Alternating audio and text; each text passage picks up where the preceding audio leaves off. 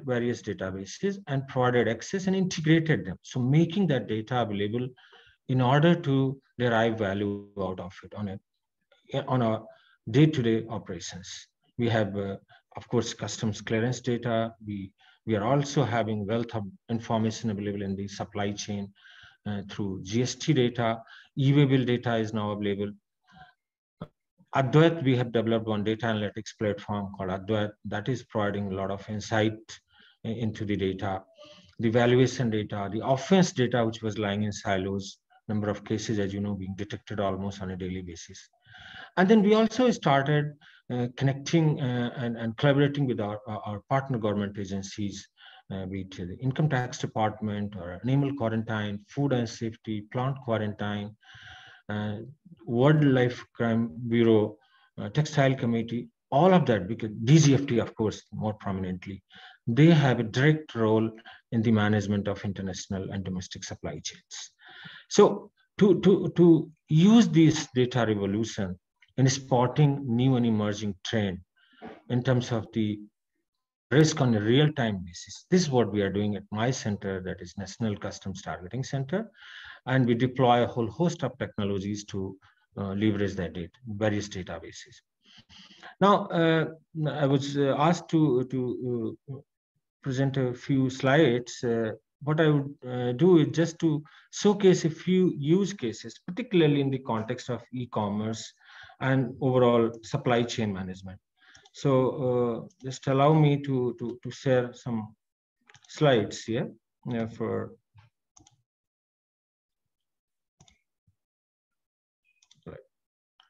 can you see these slides? Are you able to see? Yes. yes. So talking yes. about e-commerce and uh, the theme of the session is how to solve the problems of the supply chain. This is a problem statement in a typical e-commerce supply chain, which is increasing. And this is equally applicable in the Indian context. Our challenge is that with the, with the tsunami of parcels coming through courier, uh, express services and post, how we manage the speed and efficiency. As a consumer, which we are all buying uh, goods, if not selling through e-commerce at least. We want immediate delivery of goods. Our, our consumers, our customers are getting impatient. Cust from the customs and uh, border regulatory point of view, we have to ensure that efficiency. A container, full load container having, let's say, 50,000 pieces of laptops, is now fragmented into 50,000 individualized parcels.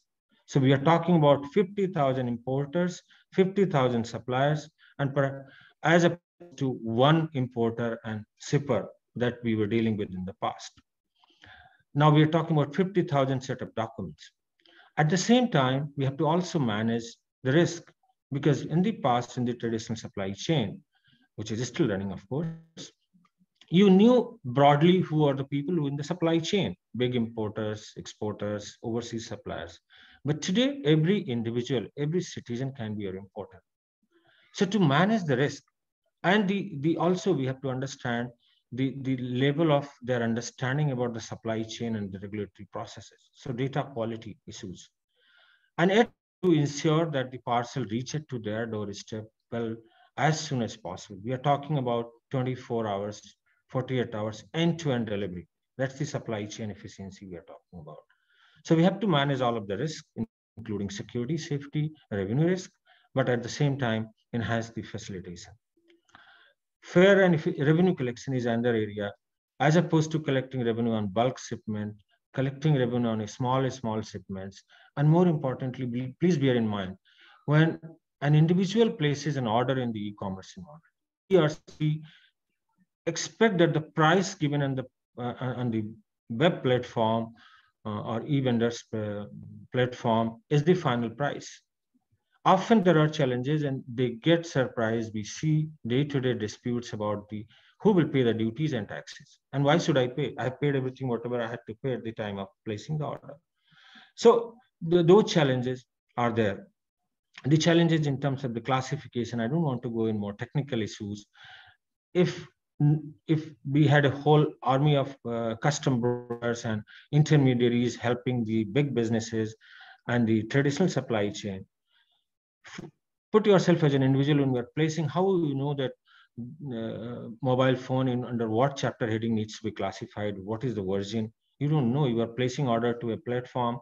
Uh, they might be procuring goods from uh, X country, and actually the goods might have been manufactured in third country. So this is the complexity of the supply chain we're talking about.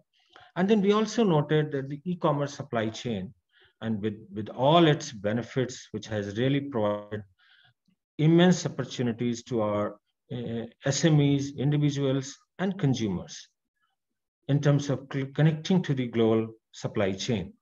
But it is also bringing up a lot of opportunities for unscrupulous elements, illicit trade, drug trafficking, uh, IPR infringed goods, illicit financial flows, all of that we see it on a day-to-day -day basis. So we have to manage that as well. Now, how, the how technology can help in that? Obviously, uh, it's, it's complex architecture. There are multiple stakeholders, and that's where technologies like blockchain, as it was indicated in the opening session, provides and takes away the fear of unknown, provides trust amongst unknown people, individuals, and stakeholders. It provides the provenance of the data, the traceability, the consensus approach, so all of that, if we see there are a number of uh, players connected in the supply chain, if they all come on board and they start populating their data and everyone having equal visibility, clearly it, it has a huge assurance. Today, we are getting data in silos from different stakeholders. You have one set of uh, uh, information with the e-platform, and that set of information perhaps going to logistics operator. Uh, those are your uh, express services and postal operator, and maybe an, a third set of information, which is actually being fed into custom declaration system. We do not have the ability to leverage all of the data, and there are inconsistencies and gaps, some uh, unknowingly and some deliberately, which is having a huge risk in the supply chain and also then adding cost and time to that. So chain clearly offers a solution having that visibility and much early in the supply chain. Today, I don't know until a declaration is filed what is coming to the country. We are trying for advanced electronic information. We are trying for prior uh, filing of the bills, but in the courier environment, at least, it is still not happening. So many times, and my colleagues will perhaps uh, mm, give more details on that. It even only after the parcel has landed, the declaration is filed and that takes time for clearance. At the same time, as I indicated earlier on, the huge data, and particularly in the e-commerce environment, the, the electronic data that is available at our disposal, how we can uh, utilize it. And that's where the AIML comes and provides a lot of opportunities to utilize that data. And that helps if, if there is no risk. Yes, why not? The cargo or the parcel can be cleared instantly. It's more effective, more cost effective. We can take better and timely, quick decisions. And wherever there are risks, and we do predictive modeling uh, using ML, and I, will demonstrate in a. That helps us to, to know which shipment is risky and which is not. So uh, this is just one use case which we are already implemented in our risk management environment. We have codified all of the data, all of the suppliers, all of buyers, importers, all descriptions, though it was very challenging because the data quality, at least when it comes to description of the goods, is not very good. Often people would not know gift, and gift does not have any meaning to us. It could be one dollar pen to a million dollar diamond ring. So uh, household goods, it does not have any meaning to me, but we made a lot of effort or uh, you know, piecing through the unstructured data, we codified majority of them. And today, based on the codification of all of the data and utilizing machine learning, utilizing the uh, database, historical database, we are able to identify any anomaly or gap in a real-time basis, if it is with regard to classification of the goods, comparing with the identical goods in the past, valuation of the goods, levy of custom duty, IGST, anti-dumping, whatever it is. And this is all happening in a real-time environment through machine learning. There's absolutely no human intervention. Moving on to, uh, to more specific e-commerce environment, what we noted, there are new actors. We are not used to some of those new actors that have joined in the supply chain. Custom and some of the other regulatory agencies in the supply chain, they never dealt with. We have e-platform. They're, we are talking about cross-border, they are overseas. We have never dealt with them. So how to connect uh, and, and get the data from those new actors? This is what we have been trying. Uh, if you look, take the example of e-platform. Clearly, they, they have, the, we are looking at three kind of data, order data, payment data, and shipping data. Order data is available the moment any customer, any buyer, including all of us, checks out the order at the e-platform. Payment data is also there because you have already paid for that.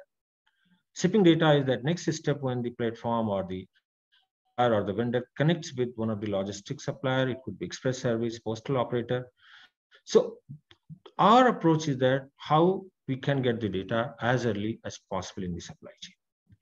And if all of these stakeholders are connected on blockchain, then this data, they don't have to necessarily push for it.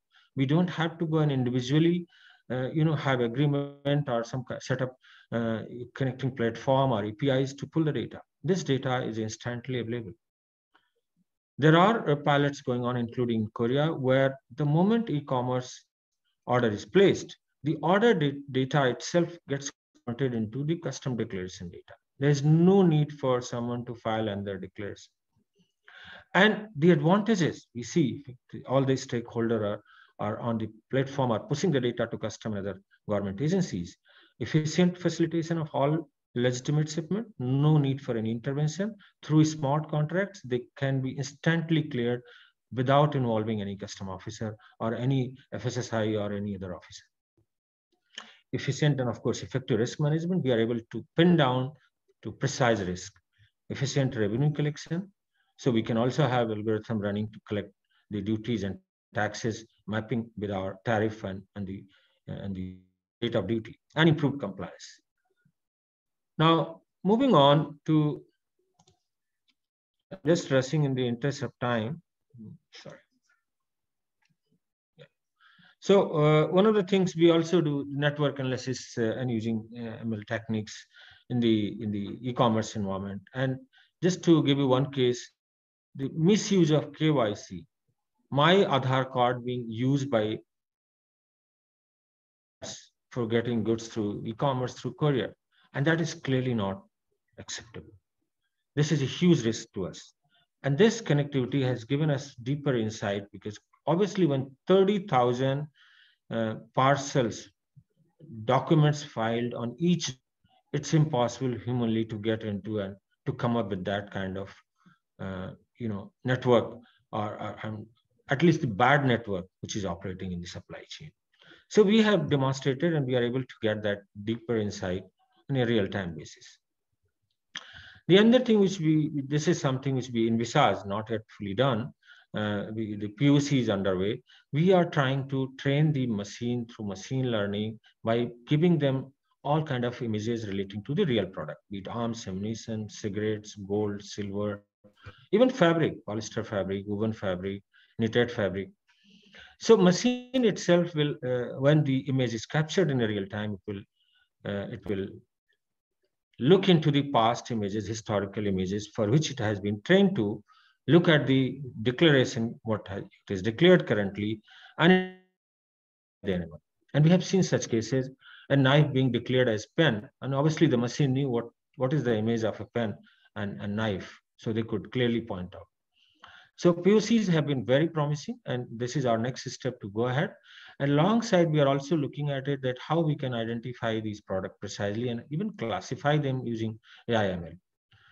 We can, using the weight validation cargo, a, a set of, uh, let's say, mobile phones in a pack, uh, in a container pack, package of a given volume will have certain amount of average weight.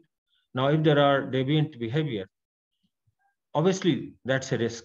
Either the product is misdeclared or something else is being brought in, smuggled in. Now, finally, I want to leave you the uh, last two slides. Block how in general, e-commerce and particularly in general, supply chain.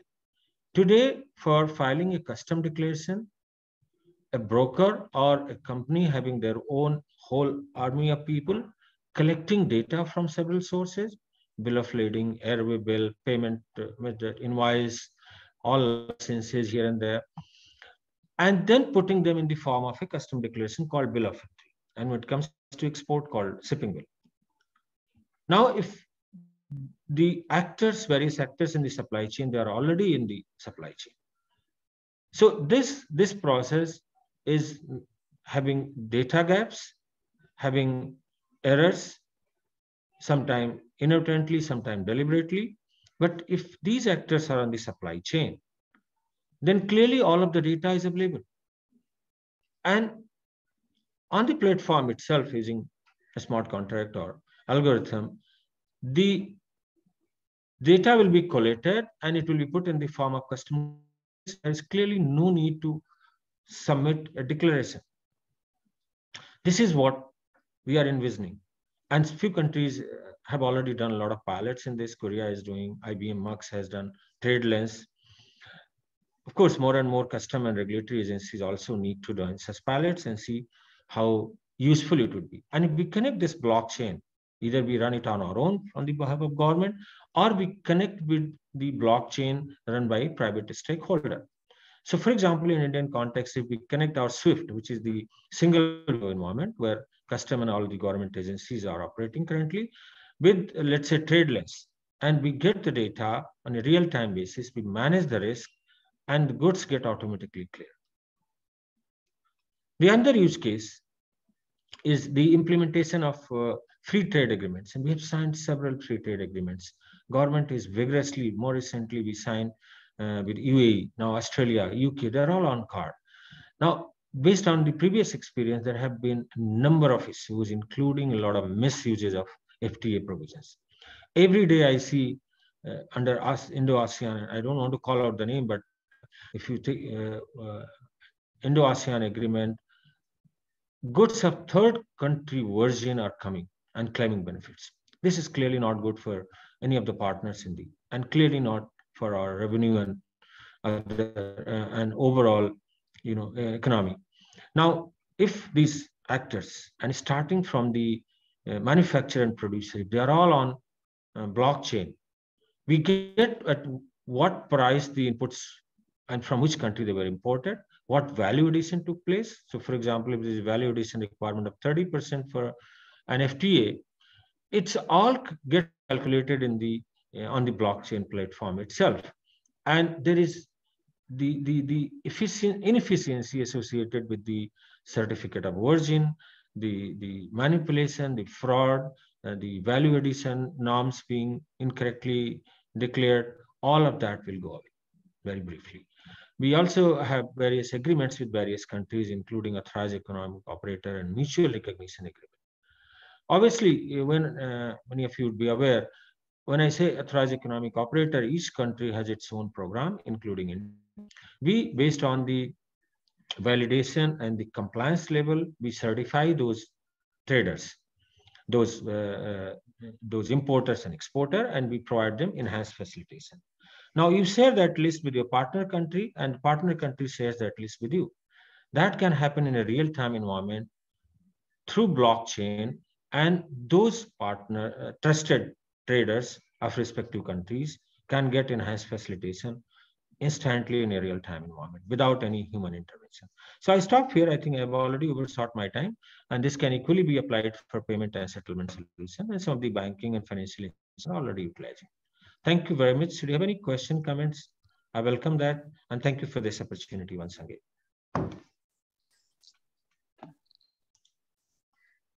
Thank you very much, sir. Uh, if there be any questions, I'll definitely uh, bring that up. Uh, I'm now going to move on to the next uh, keynote by Mr. Akhilesh Pandey, sir. Uh, sir, you are working as Additional Director General as the West, at the West Zonal uh, Unit Systems, Mumbai.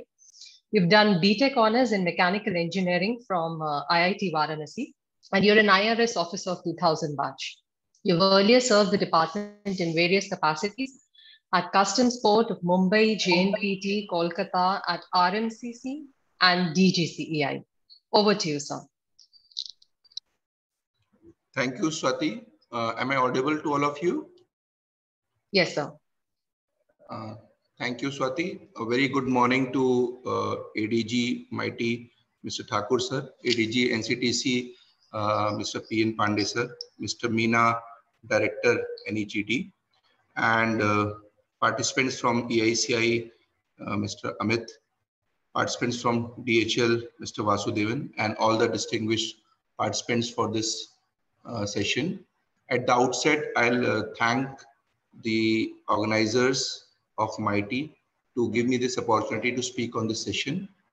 I'll give a very brief introduction on AI and blockchain and present the use case of its use in ECCS, which is Express Cargo Clearance System. Uh, the tone has been set very rightly by Pandey sir by giving in-depth uh, detail of the use of AI and blockchain in customs department. We all are aware that artificial intelligence and blockchain are the cutting edge latest technologies. Artificial intelligence leverages computers and machines to mimic the problem solving and decision making capabilities of the human mind. While blockchain is a shared immutable ledger that facilitates the process of recording transactions and tracking assets in a business world. Blockchain is ideal for delivering the information because it provides immediate, shared, and completely transparent information which is stored on immutable ledger and it can be accessed only by the permission network members. AI and blockchain make our existing process of customs clearance system more smoother. It reduces the dwell time, which is the time of clearance of goods. It mitigates the risk of human errors and secures the data. AI has multiple steps to achieve desired results like data exploration, data modeling, and data for AI trading using reinforcement, deep learning, and deployment. The future vision of CBIC is to make a hybrid system with AI and blockchain. The blockchain will enable us, all the stakeholders of export and import value chain as node and have transparent data flow. AI can automate customs clearance process ex export and import ends with help of computer vision at scanning point of goods and matching it with the given HS code and description with the help of natural language processing, which is known as NLP. If the description and HS code is matched with the scan data, it will be facilitating the consignment. And in case there's any discrepancy, it will flag the goods and alert the custom staff on duty. This will identify and flag the restricted goods at the time of scanning and raise alert for the same, which can be used to reduce the dwell time for clearance.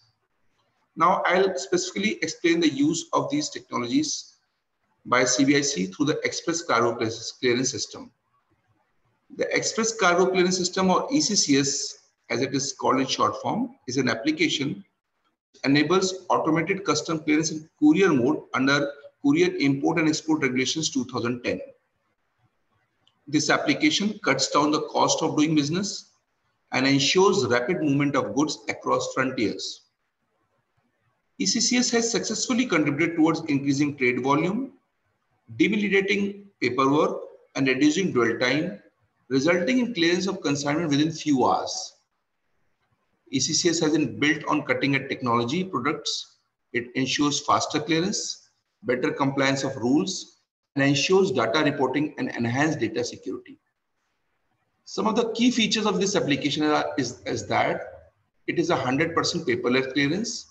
The duty payment, the uploading of all documents is done online. There is no manual processing at any end. As on date, at approximately nine international customs terminal across the country, including Mumbai, Delhi, and Bangalore as the main ICTs, approximately 45,000 shipments are cleared per day in import and export through the courier module in ECCS. It has the automated risk panel system and nearly more than 90% of shipments are facilitated, which means they are cleared without any customs intervention. And that module is being managed by Mr. Pandey, my previous speaker. The couriers file the courier bill of entry in courier shipping bill through bulk upload, which means multiple number of documents can be filed in one go through this bulk upload facility. The database is highly secured through audit vault technology. This completely online and paperless application allows upload of invoice, price list, customs clearance documents, query reply, duty payment online. It is a single and common web-based digital application for all stakeholders, which are the courier companies, the customs, and the custodians. So it has many automated feature like auto OC or auto LEO, which means that any consignment which is compliant, which from the risk management division are cleared as safe. And during the X-ray is also comes as clear, not suspicious. It goes out of charge of customs area or auto let export order without any intervention by officer at any stage. And more than 90% of consignments today in courier mode are cleared through this mode. ECCS provides real-time monitoring and visibility to customs officers, leading to greater trade facility and trans transparency. The technical part is that this application has been developed in state-of-the-art Java technology using Struts, EJB, and Jasper. The operating system of these servers are enterprise version of Linux like RHEL 7.7 and OEL 7.4. On the back, the data is stored and managed in Oracle database. ECCS has 24 by 7 integrated help desk for importers and exporters to address their grievances and to resolve application related issues of the end users. All the real-time consignments in ECCS can be tracked through e-mobility app by entering only the airway bill number and the courier name. Any person can get the status of their consignments on internet. As of now, the facilitation percentage in import is approximately 88% and export is 94%. And the dwell time for import is roughly 12, 5 hours and export it is 4 hours. So you have to appreciate the speed of this uh, express industry wherein hours the goods are cleared from the customs control. Regarding the use of AI and ML, the CBIC, our board is envisaging the use of artificial intelligence chatbot to identify the best communication channel and messages to reply to the queries of ECCS users. So any query coming from through the help desk can be automatically replied to this chatbot. Similarly, CBIC is envisaging the use of convolutional neural network during X-ray image scanning. So this CNN is similar to regular neural network and are inspired by biological processes and mainly used in image and video recognition, image classification, natural language processing. On a global scale, these images can be transferred to blockchain also. CBIC is also envisaging the use of artificial intelligence technology to bring optimization of transportation path and improve the delivery efficiency. The use of information can make the whole operational traceable, process controllable, and result predictable. The big data analysis and machine learning can optimize and improve the existing operation process based on the historical data and can also help to identify the risk and the pattern for the counterfeit goods. The blockchain technology can be used for process automation, transparency, traceability, and authenticity of the courier shipment. The express industry can be more efficient and faster by using this blockchain technology through the customs clearance by reducing the processing time for goods at the customs checkpost. At the end, I believe express industries need to leverage these new technologies and embrace ways of rethinking old processes in the digital area. The successful operation of artificial intelligence, machine learning, and blockchain has the potential to bring transformation by making the system smarter, secure, and automated. Thank you. Thank you for this opportunity. I look forward for any questions or doubts later on. Thank you. Thanks a lot, Akhilesh sir. Uh, if any questions come up, I will certainly bring them up. Uh, and now we move on uh, to our next session, uh, where we are going to learn about how blockchain can revolutionize uh, supply chain structures and the customs environment, which is a vital part of today's uh, supply chain. Uh, and now I'm uh, very honored to invite our distinguished speaker, Mr. Nantha Kumar. I'm sorry, sir, it's been, uh, it took some time. Uh, probably we've overshot some time here. Uh, I'll give a very quick introduction about you. Mr. Nantha is the Director of International Trade Policies for Asia Pacific region He leads Intel's trade policy, digital initiatives, and ESG advocacy in the region to effectively influence trade laws, regulation, and other government policies that align to Intel's business and operations, supply chain, market access needs, and overall strategy and business of, of, uh, objectives. With this, with this brief introduction, sir, I'm going to hand it over to you. Thank you very much, Swati. Good day to everyone. Uh, Dr. Vinay Thakur, CEO, NEGD, Ministry of Electronics and IT, Government of India. Speakers from Ministry of Finance, Mr. P.N. Pandey, Additional Director General at Directorate General of Analytics and Risk Management. Mr. Akhilesh Pandey, Additional Director General, West Zonal Unit Systems, Mumbai. Mr. Abhishek Singh, President and CEO, NEGD, MD and CEO, Digital India Corp. Audience member, Ministry of Finance, Central Board of India, Indirect Taxes. Ministry of Housing, Agriculture, Ministry of Corporate Affairs, Defense, Commerce, Housing and Urban Affairs. Members from the academia, friends and colleagues from the industry, a very good morning to all. And uh, I would like to thank the organizers for this opportunity to share some of Intel's digital initiatives relating to uh, supply chain and customs. I think the first respected three gentlemen has summarized the whole scenario so well uh, that I'm finding it difficult to speak. I don't know what to say. Uh, but it's amazing how India is, is far leaping and aggressively adopting technology, uh, especially to the supply chain uh, era. And this is something that we are ambitiously Intel is ambitiously driving to create that awareness, especially among the ASEAN members, how adopt how adaptation of the emerging technologies, especially blockchain, machine learning, and AI, can really transform the customs and, and uh, trade supply chain processes. Let me quickly share some slides with you. Uh, let me know if you can see the screen.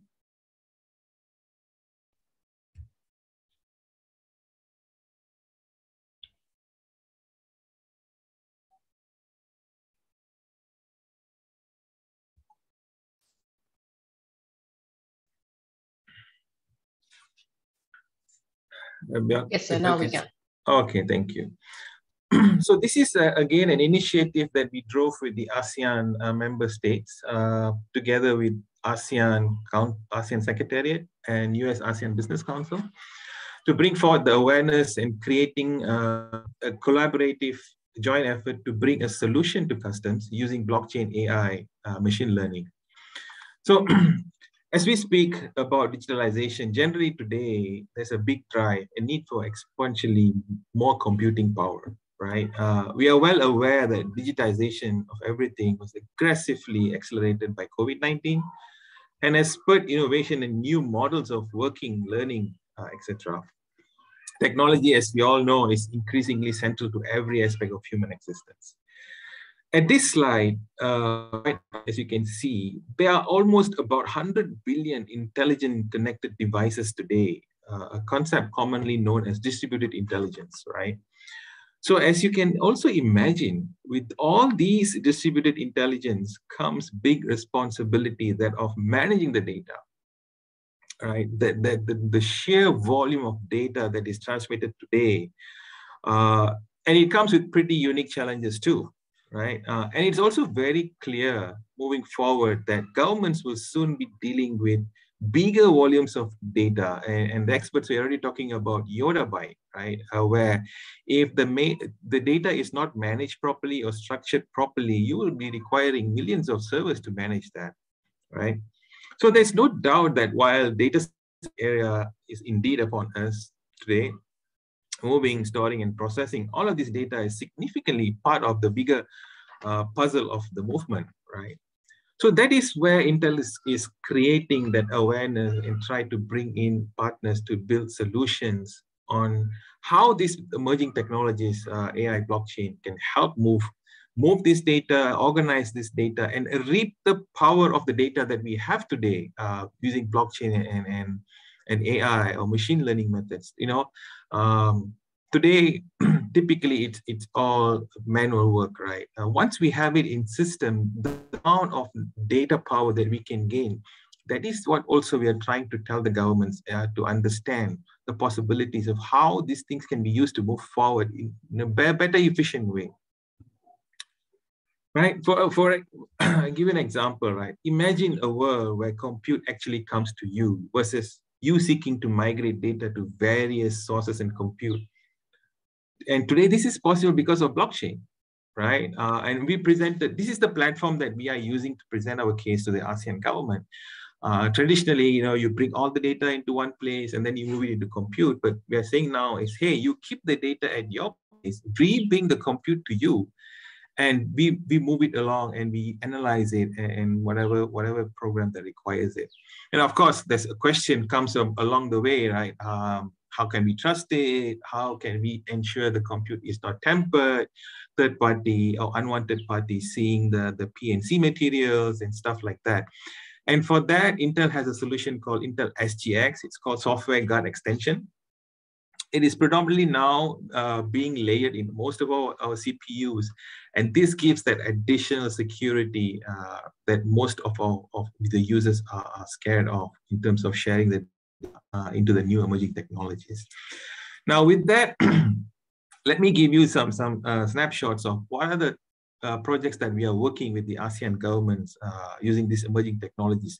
There are actually three, three business cases that we are working on at a, at a different progressive level. The first one is with the Vietnam government. We have signed an MOU to bring blockchain to their entire customs process. Uh, we have completed the POC. Uh, we have completed testing phase one and phase two. Uh, and now what's happening is uh, Vietnam government has them to uh, upgrade the infrastructure, digital infrastructure to cater for all these advancements. Uh, so they're very aggressively moving forward. That's number one. Uh, number two is the ASEAN Digital Transformative Program that I'm going to talk about today. This is a collaborative work within ASEAN Secretariat, US uh, ASEAN Business Council, and Intel not only to create the, the, the awareness and, and, sharing about the emerging technologies, but also to demonstrate how these technologies can really uh, transform the current customs process that's, pretty much many manual in, in, in ASEAN today.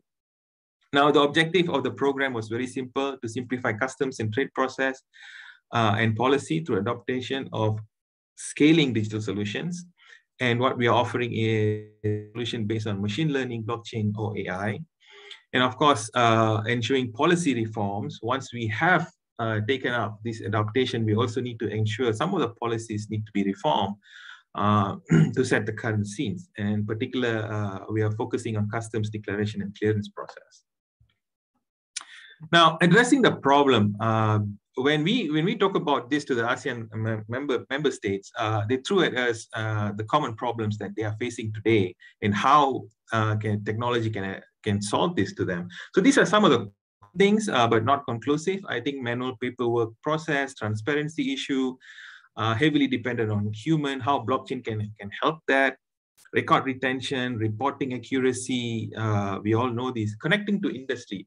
Now, this is an interesting area that I want to stress that what we are telling is today, uh, all the companies are submitting report to the customs. Uh, uh, to, to validate what is the inventory, goods at hand, balance at hand, scrap, and etc. etc. What we are offering is we are trying we are offering a connective system from the company direct to the customs, so customs can can see the real time inventory at hand, uh, the goods movement, how much you have scrapped, where things are moving, and all that kind of stuff. So today we have actually started this, this initiative with Vietnam. So Intel in Vietnam is partially connected to the uh, Vietnam custom system, uh, although it is not fully yet. Uh, we're working towards it. So that's kind of like where we are. And I know a few other companies has also started this. Uh, and today we are also doing this active engagement uh, with Malaysia, uh, where we want to have a direct connection with the Malaysian customs to Intel. It's all visible to the custom officer's eyes, right? besides connecting to the industry, I think blockchain, AI, and all that, these solutions also give a, a, a valuable connection within government agencies, right? Uh, interchecking and all that stuff, not only internally but also externally. Uh, let's say India, Malaysia, right? Uh, through the the single window system. So all this kind of stuff is possible today. The other thing that was brought up to our attention was the red flag and fraud detection. How can blockchain or AI system can can can catch these reflex at early point, right? And of course, um, the other protecting government revenue and, and, security and data privacy concerns, including cross-border data flow, uh, which we talked about. Now, after hearing all this, uh, we did a poll survey with the ASEAN member state, 10 member ASEAN state member states uh, of say, okay, we understand your concerns and you you are happy uh, to adopt technology, but you say you have also other concerns. So what are the real concerns that's really stopping you from bringing technology to play? So all the, the questions and all that, these are the three main areas they have, uh, we, have, we have got the results from. One is cost, funding and infrastructure issues. Not all member states are uh, well equipped with funding, right? And, and also issues. So how can uh, a, a, blockchain system address this? Number two is ease of implementation. We know uh, technically, traditionally, if you want to implement a, implement a system, it's going to be heavily resourced, time, um, connectivity issues. And one of the, the specific uh, uh, reasons given to us, right? Hey, today we have some kind of online system that we use. Can the new emerging technologies connect to this? Vice versa. We do not want to let go of this, right? And of course, the third one is the security of the transaction we talked about. So these are the three things that they were brought to our attention. And what we did is uh, last September, uh, during the ASEAN uh, Meet Council, we presented a white paper called Optimizing Data, Digitizing te and Technology to Foster Trade Intelligence to answer to all of these, these concerns. And in there, we used uh, our Vietnam case is one of the, the, the, current case at that point of time, uh, machine learning examples. And we also quoted uh, Eurasian uh, uh, customs uh, business case. So there are five countries in the Eurasian Union which adopted a single technology within the five countries for movement and customs declarations and stuff like that. We, we brought that benefits to show how those five countries are benefiting in the movement of goods right?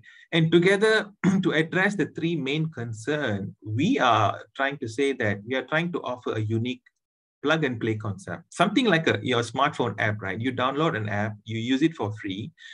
Uh, but as when you need some extra features, you pay a little money to get that extra feature. So this is kind of like the thing we're trying to bring to the table. Uh, technology solution as a driver together with that uh, security with Intel SGX.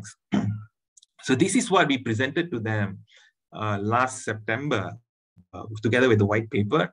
And they were very pleased. And so they gave an action item back to us saying that, okay, we hear you, this is nice. Can you really show a product demonstration of a real system that's gonna, gonna uh, show all this? the plug and play concept, how it's going to be so cheap to implement with secure and all that. So we have actually completed that system uh, and we are going to present to them next month, uh, April, mid of April. And that system will showcase the flow of, right from the starting of a company, uh, creating an order, submitting it to customs, and how customs can, can use that blockchain AI uh, technology to, to uh, analyze their application uh, in various areas and then how to approve or not approve, rejecting, and all that kind of stuff. And we also include have included our our trading partners, the customs brokers uh, role. So that's kind of like the, the demo system that we have uh, uh, prepared for them. And this is actually a screenshot of that system um, as you can see, one of the, the important thing is the potential fraud uh, at the bottom there. So, and this is all customizable uh, as, as a, how you need it, how you want it, what are the data fields that you want. Um, so as you can see on, on the left-hand side, the, the benefit and all that, I think we talked about it at length. So this is where we are today uh, with, the, with, the, ASEAN initiative. Um, there's, there's, been a lot of discussion, especially on the on the fraud uh, government uh, revenue uh, protection, TPT, uh, how to how to make sure the TPT is reduced so that you customs can satisfy the customer's delivery.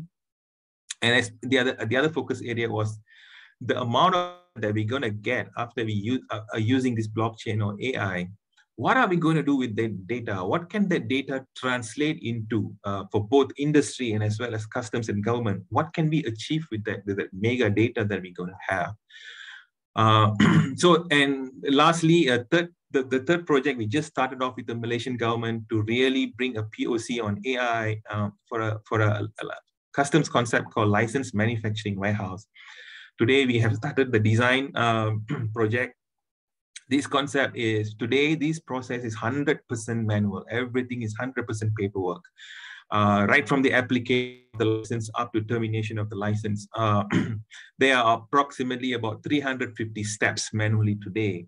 And with this blockchain, we are going to reduce it to only 25 steps. So that is the latest project that we have embarked as our part to help the industry and customs uh, moving forward with emerging technologies. So with that, uh, I end my presentation. Uh, welcome uh, if any questions or comments. And I can I can happily share that white paper if anybody's interested. Uh, I can also happily um, arrange a time if anybody wants to see that, that new customs demo system for ASEAN. Uh, just reach out to us and we'll be happy to share all that. Thank you. Much, sir. Actually, there are one or two questions, uh, if I can take them up. Sure. Um, there is a question with Nas from Naseem Kuchi. Can this blockchain be used only in government sectors? Uh, can this AI and ML with blockchain be used in private sectors as well for increasing the profit volume in real time by saving energy and power with labor and employee role with an efficiency of economic growth? I think they are trying to say how it can be used in the private sector uh, it's in yes. the chat room as well, sir, in case you want to read this question. Now. Okay.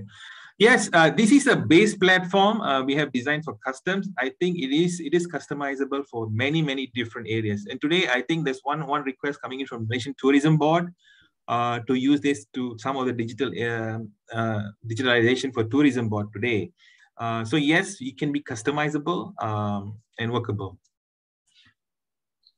Okay. Okay. Thank you, sir.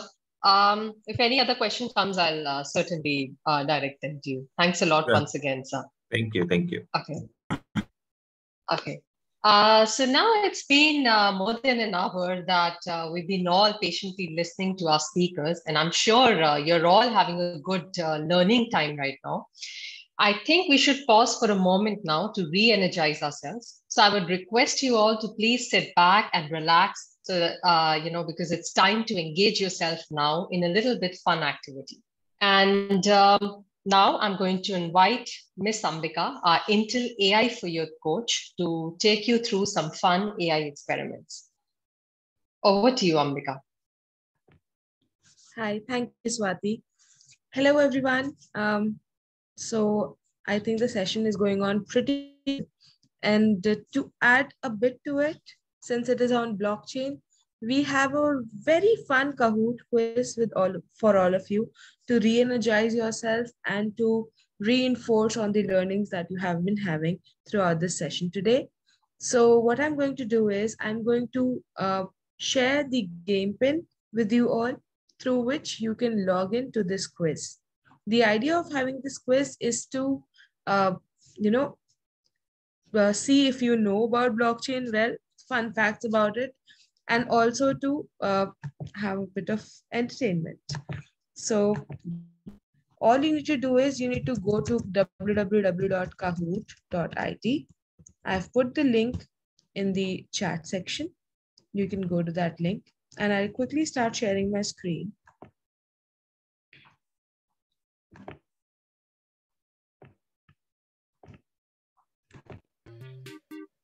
I hope it is visible to all. Yes, pin, yes. Yeah, pin is mentioned on the uh, screen as well, and I'm putting the pin in uh, the chat also 787-4303. This is the pin. So all you need to do is go to kahoot.it, enter this pin, give yourself a cool nickname. Uh, you can use your name or maybe any other name as well. And let's get started.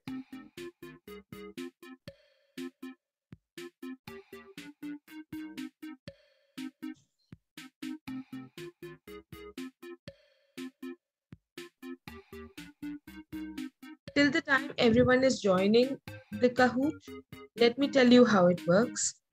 So as soon as I click on start, uh, questions would start popping up on my screen as well as yours. And with those questions, would there be uh, there would be options. Some of them are multiple choice questions and the others are true and false statements. So you need to select the correct answer in the least possible time to score the highest points. The one who has the maximum correct answers in the lowest time taken would win this quiz.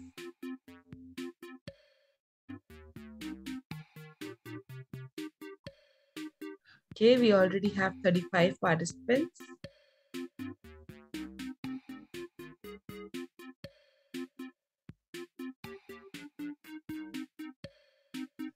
Thirty-nine. We'll wait for two more minutes for everyone to join.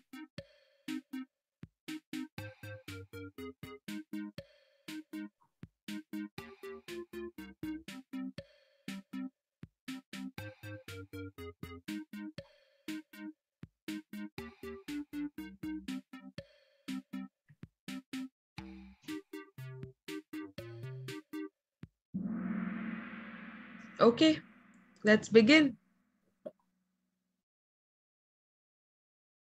Have not joined so far, you can keep on trying. First question, what is a blockchain? Read the options carefully and then answer them.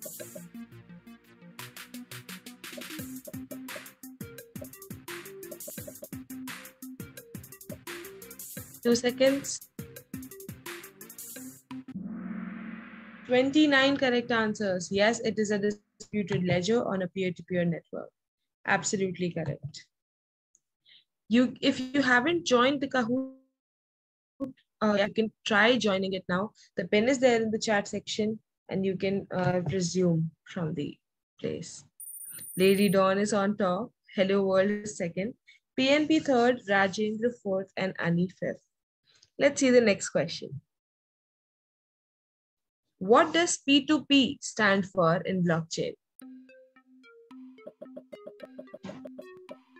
That was that the responses are coming in quite quickly.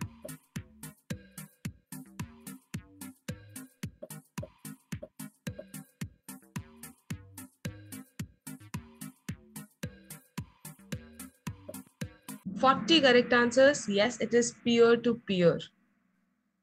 Let's see if the scoreboard has changed.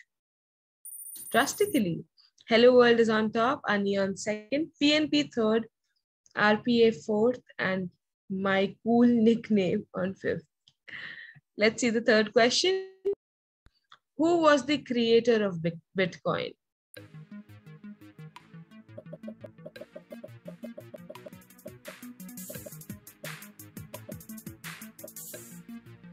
Okay, let's see how many of you know it.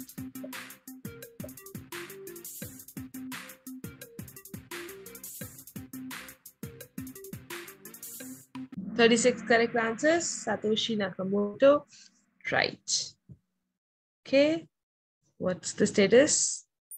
PNP is now on second. Name on fourth. That is cool. Next question, fourth. This is a true and false. The creator of Bitcoin, Satoshi Nakamoto, is still unknown. Is it true or false?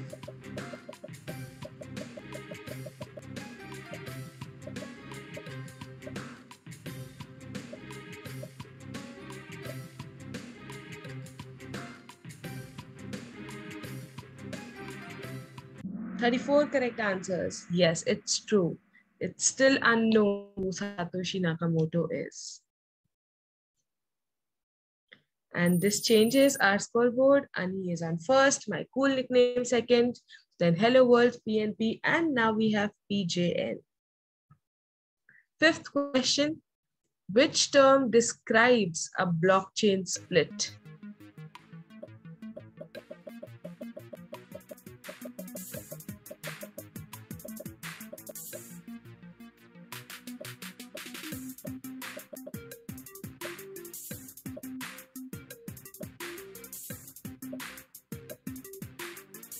19 correct answers. It's known as a fork.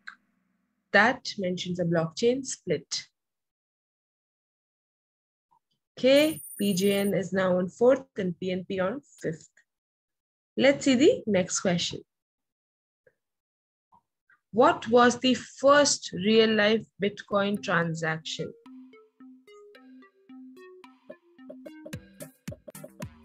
Well, this is sort of a fun fact. Do you know about it?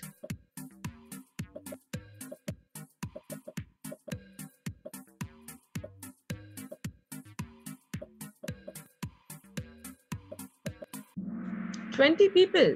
Yes, you won't believe, but the very first real life Bitcoin transaction was for two pizzas that costed 10,000 Bitcoins.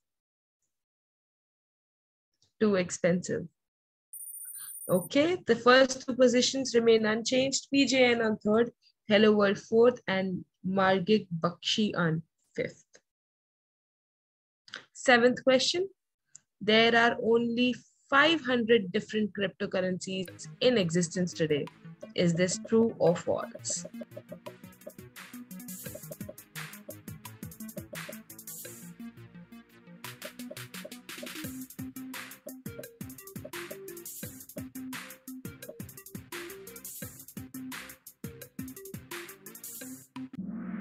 Absolutely. It's false. There are more than 700 or I can say nine, no, sorry, 7,000 or 9,000 cryptocurrencies that are in existence today. Okay, all five correct answers. Great. Eighth question. What are the uses of Ethereum cryptocurrency?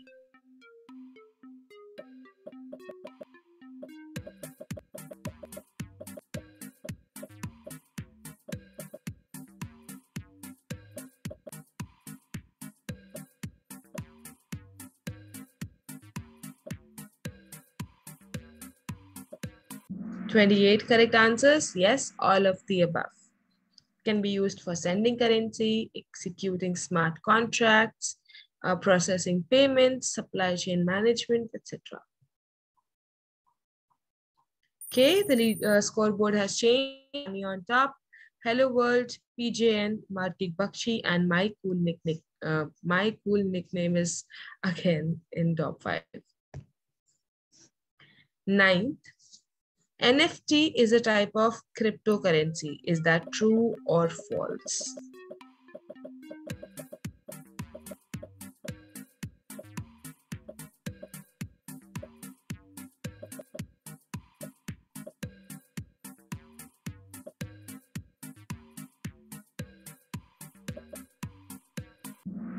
Twenty-seven correct answers, while we have twenty-one wrong.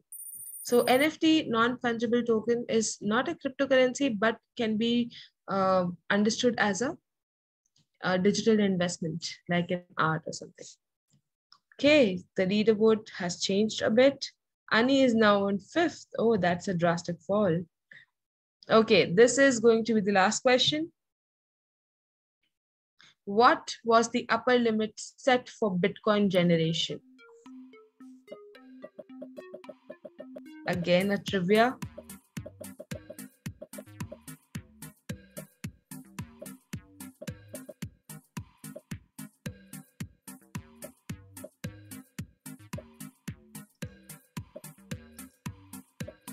Yes, 21 million.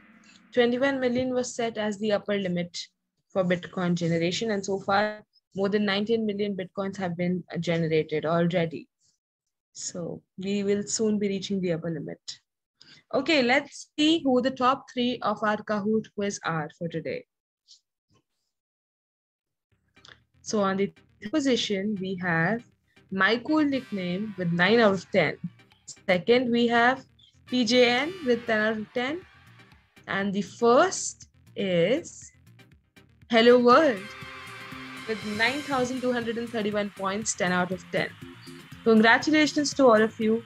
I hope you enjoyed it.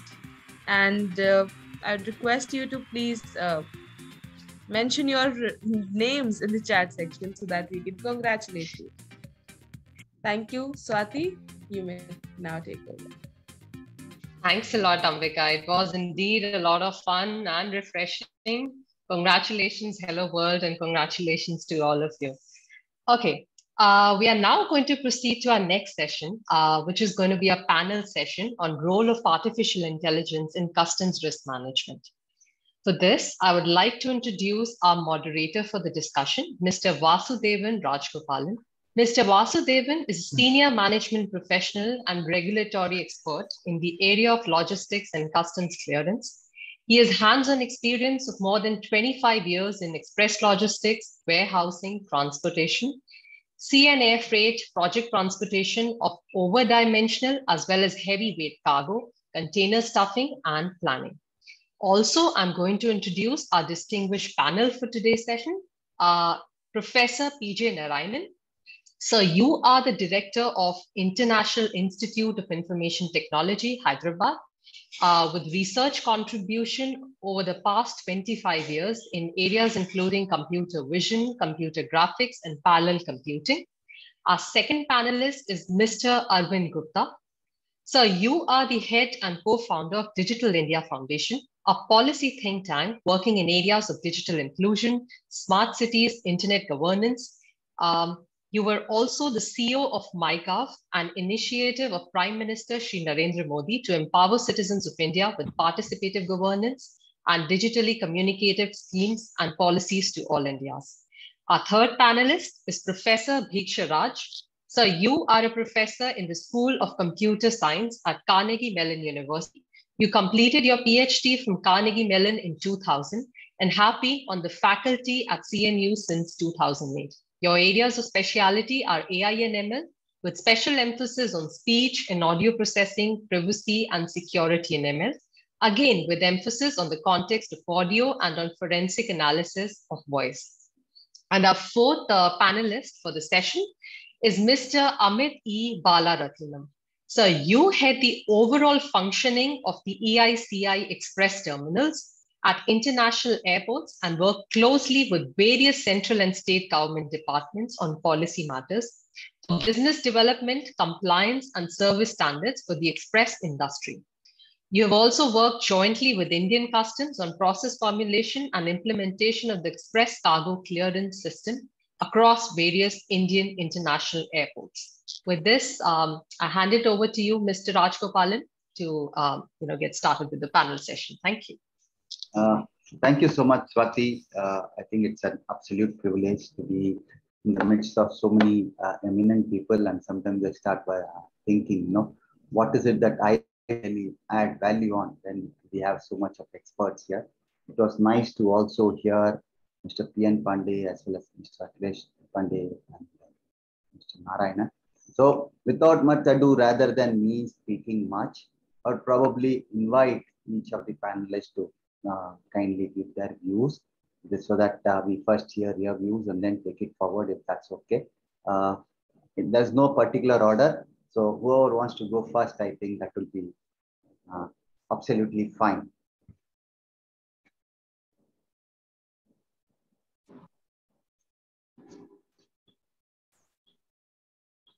We have too uh, many, uh, Vasudevan, we have professors in the classroom. They need to go first. And then the students will come in later on. So. I think it's better you call uh, Rajagopalan, otherwise, you know, there'll be confusion. You call, you choose. Yeah, Mr. Narayanan, I think since you spoke, I'll start. okay, uh, thanks for uh, the invite and uh, greetings to all the fellow uh, panel members uh, and the speakers before uh, it was very interesting to know the range of activities that customs uh, department is doing I mean, we are all aware briefly about it, or vaguely about it, not uh, not very detailed. But I'm really impressed to know that a lot of digitalization has already happened, and and the kind of initiatives they're planning on, especially the AI side. I can a little bit I'm familiar with. I'm not big of expert in, in in blockchain side of things uh, I, I see there are many uh, activities or many initiatives have been planned. I think it's it, there's a lot of scope today. You know, the, the early uh, uh, you know digitalization, converting everything to digital, was the initial thrust of when computers came into picture in the first 50 years. But now that has happened, or mostly everything is digitalized. Now, what do we do with it is the is the most important thing. That is judging or, or using the data. So AI, I mean, in the initial years AI was about game playing and all that, but now we realize that every organization, so customs or the any government department is an organization, it can use a lot of AI to, to improve itself. And particularly, the lot of examples were given on, on the, the on the shipping data, customer data, production data, the, the uh, courier data, and so much data, and so many customers being uh, represented there. This is a huge wealth of information, and, and tons and tons of processing can make things much better for operation. A few things were outlined by Mr. Pandey, and I, I you know, I wish, I hope that's being done, and we will be glad to be, you know, many in, in India will be glad to be part of that. In particular, there, there was a reference to, to image processing or image analysis, analytics for uh, to, to get information.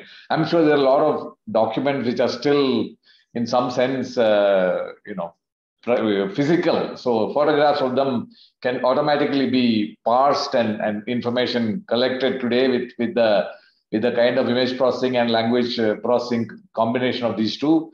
Similarly, you know, the X-ray of uh, these packages being made, and, and they've already mentioned that they want to do that. That will be something that will really help, you know, analyze the packages over a different uh, segment, different parts.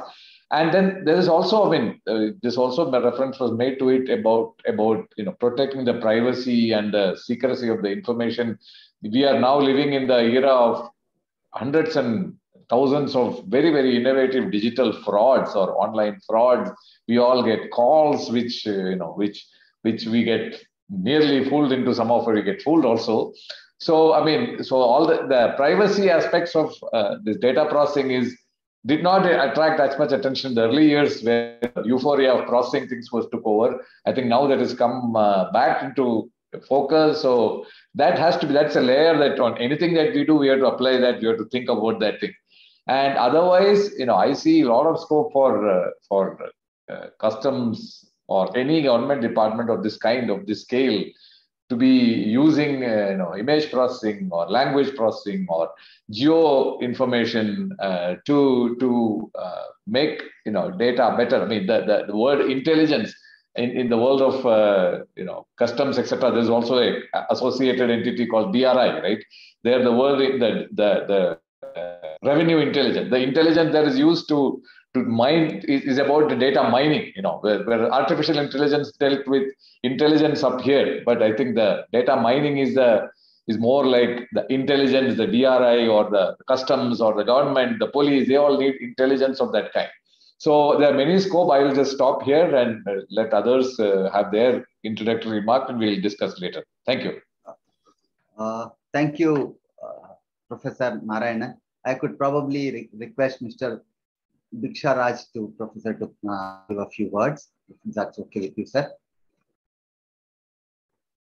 You're on mute, sir. You may have to unmute. I was asked to actually make some slides, so I did make some slides. Can you let me share my screen? Yes, yes, please. That should be interesting. So uh, currently only I cannot share. Swati, do we need to give any uh, rights or anything like that for professor to share his screen? Uh, so you already have the speaker rights. Okay, so uh, now I got it. I yeah, I just got it. Excellent. So uh, let me see if I can pull up my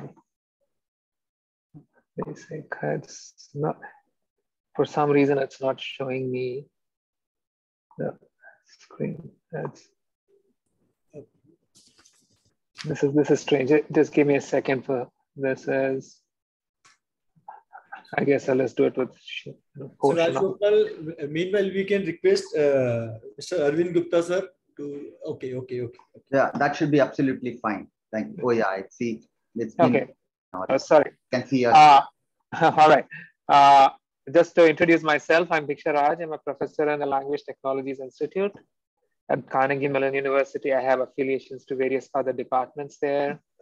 Uh, I work on speech and audio processing, machine learning, deep learning, security and privacy, and a lot of related areas. This is our lovely campus, Carnegie Mellon. And uh, some of the stuff, anything that I'll be talking today is not merely about my work, but I'm sort of building on the experience and knowledge I've got from all of my colleagues at LTI, which is the largest language technologies institute in the world today, and, uh, and other research groups. The research group I work in is MLSP and speech. Now, when I was invited to this panel, I was told what the topic was yesterday. So I reached out to a few people to find out about the state of uh, AI and how customs and such like are using it in India. So I want to thank uh, Srimati Priyanka, who is in the IRS Joint Commissioner of Customs and GST in Hyderabad, uh, Sri Kamal Jain, who is the Director of, Director of Cargo and Logistics, and uh, Sri Satyanarayan, who's from IRS who used to be the CGM of the Container Corporation of India. So all the information, everything, my slides and my information are built on uh, information I got from them.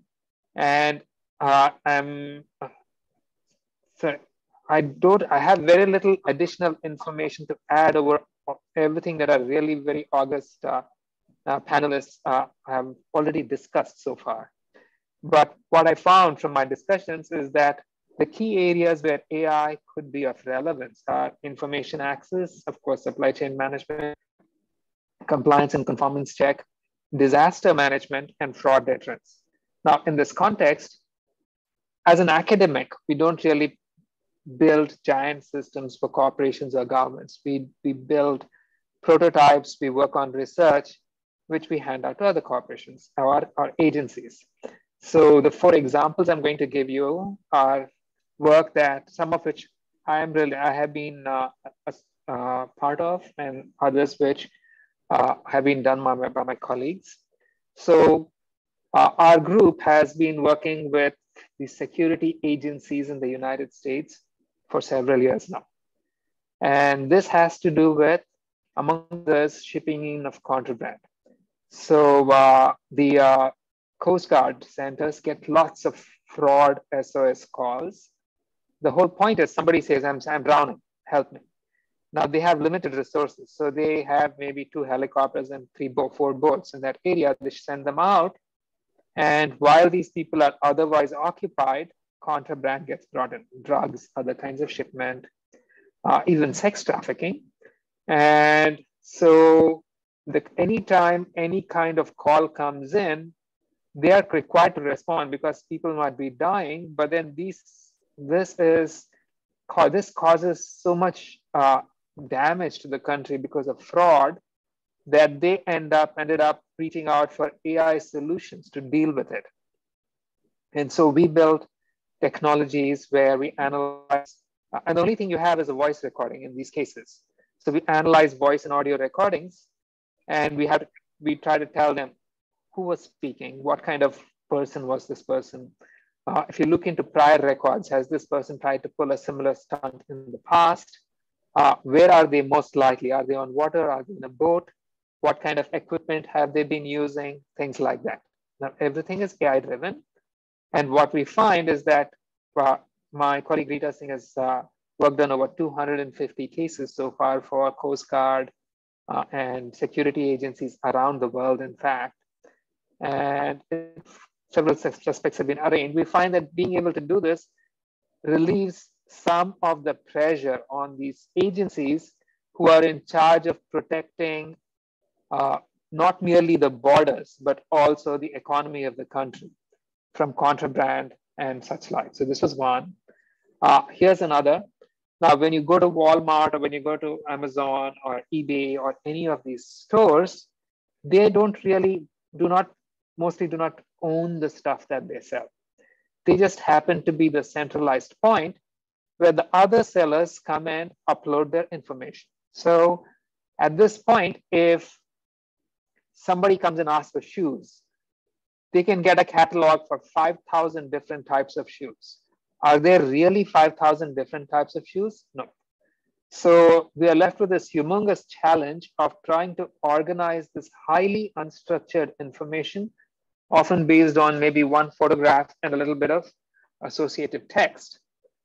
And this is a logistic nightmare. It's a regulatory nightmare. It's a conformance nightmare. And we've been working on solutions where we can, uh, based on historic records, based on everything else that we can get, how we can uh, analyze these data using computer vision, NLP, and other AI to organize them for the customer. This one's a huge one. Uh, this is work that we've been doing with a giant uh, aircraft company. So uh, they have, this is something very similar to what the government has. Tens, maybe hundreds of thousands of pages of documentation, and usually in PDF form or maybe online. But then there is this workers suspended from the ceiling 30 feet above the ground working on an engine and he wants to find out how much torque do I need to tighten this one little lever. And he's going to ask a question and post a photograph. The traditional mechanism before AI kicked in was for some people on the ground to go and dig through all of that information to give them the right information. Otherwise, you had experts, human experts, and human experts could make mistakes. So this entire thing has now been largely automated, where AI technologies using NLP, AI, uh, and, uh, and other AI tools have organized this highly structured hundreds of thousands of pages of text into an information database. They can, they can obtain voice-based queries from this person suspended way above and translate it to the right information to find out what question is being asked pull up the appropriate information and present it to this person up there with near 100% accuracy.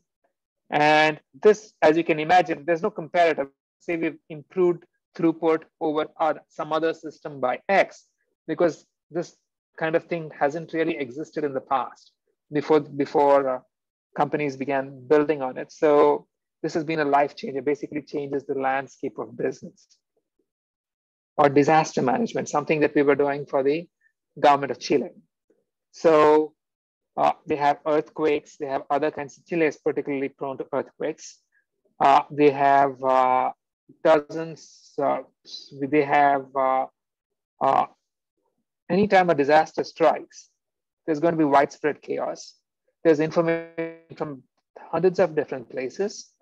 And all of these have to be coordinated. And turns out coordinating, coordinating all of this completely chaotic information and getting an organized response, which is in terms of directing traffic, sending first responders, uh, calming down the public, all of this can be very challenging. And once again, AI comes to the rescue. So uh, if you look at the various uh, obvious extensions of such technologies to where AI might apply, in the case of customs and such like in India. Uh, all of these, I have several examples on my slides. I'll actually stop over here and hand over to the next panelist. But it turns out that pretty much all of the different challenges that have been mentioned in the, in the uh, session so far can indeed be addressed by modern AI. And uh, it's kind of ripe so the examples I showed in terms of what we have actually been worked on, they are not the only ones. There are dozens of others and some of which are directly applicable, applicable to the custom scenario. Again, they're almost there. And uh, what I have learned over the past couple of days is that our customs agencies in particular are way out there in terms of adoption of technology. So we're probably at the cusp of making life really easy and making the the job of doing business in India. Very simple. So I'll stop over here and hand over to the uh, next panelist. Uh, thank you so much, Professor. Uh, interesting. Maybe a few points I could probably ask in the next opportunity that I get to speak.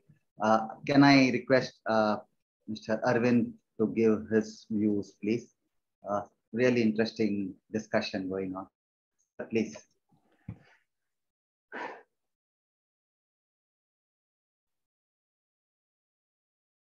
Yeah, hi, uh, good afternoon now. Um, I hope everybody can see my screen. Um, yes, sir. clear. It's visible.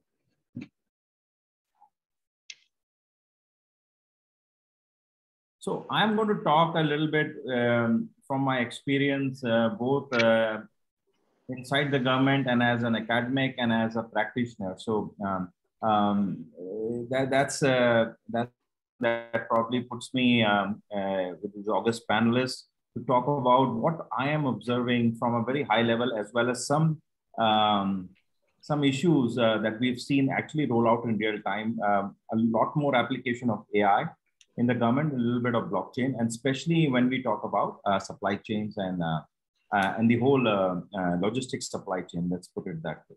So. Um, all of us know this. I think I'm, you know, today we are living in this fourth industrial revolution, which is a a combination of uh, one key resource, really computational power, really harnessing one key resource, which is uh, which is data.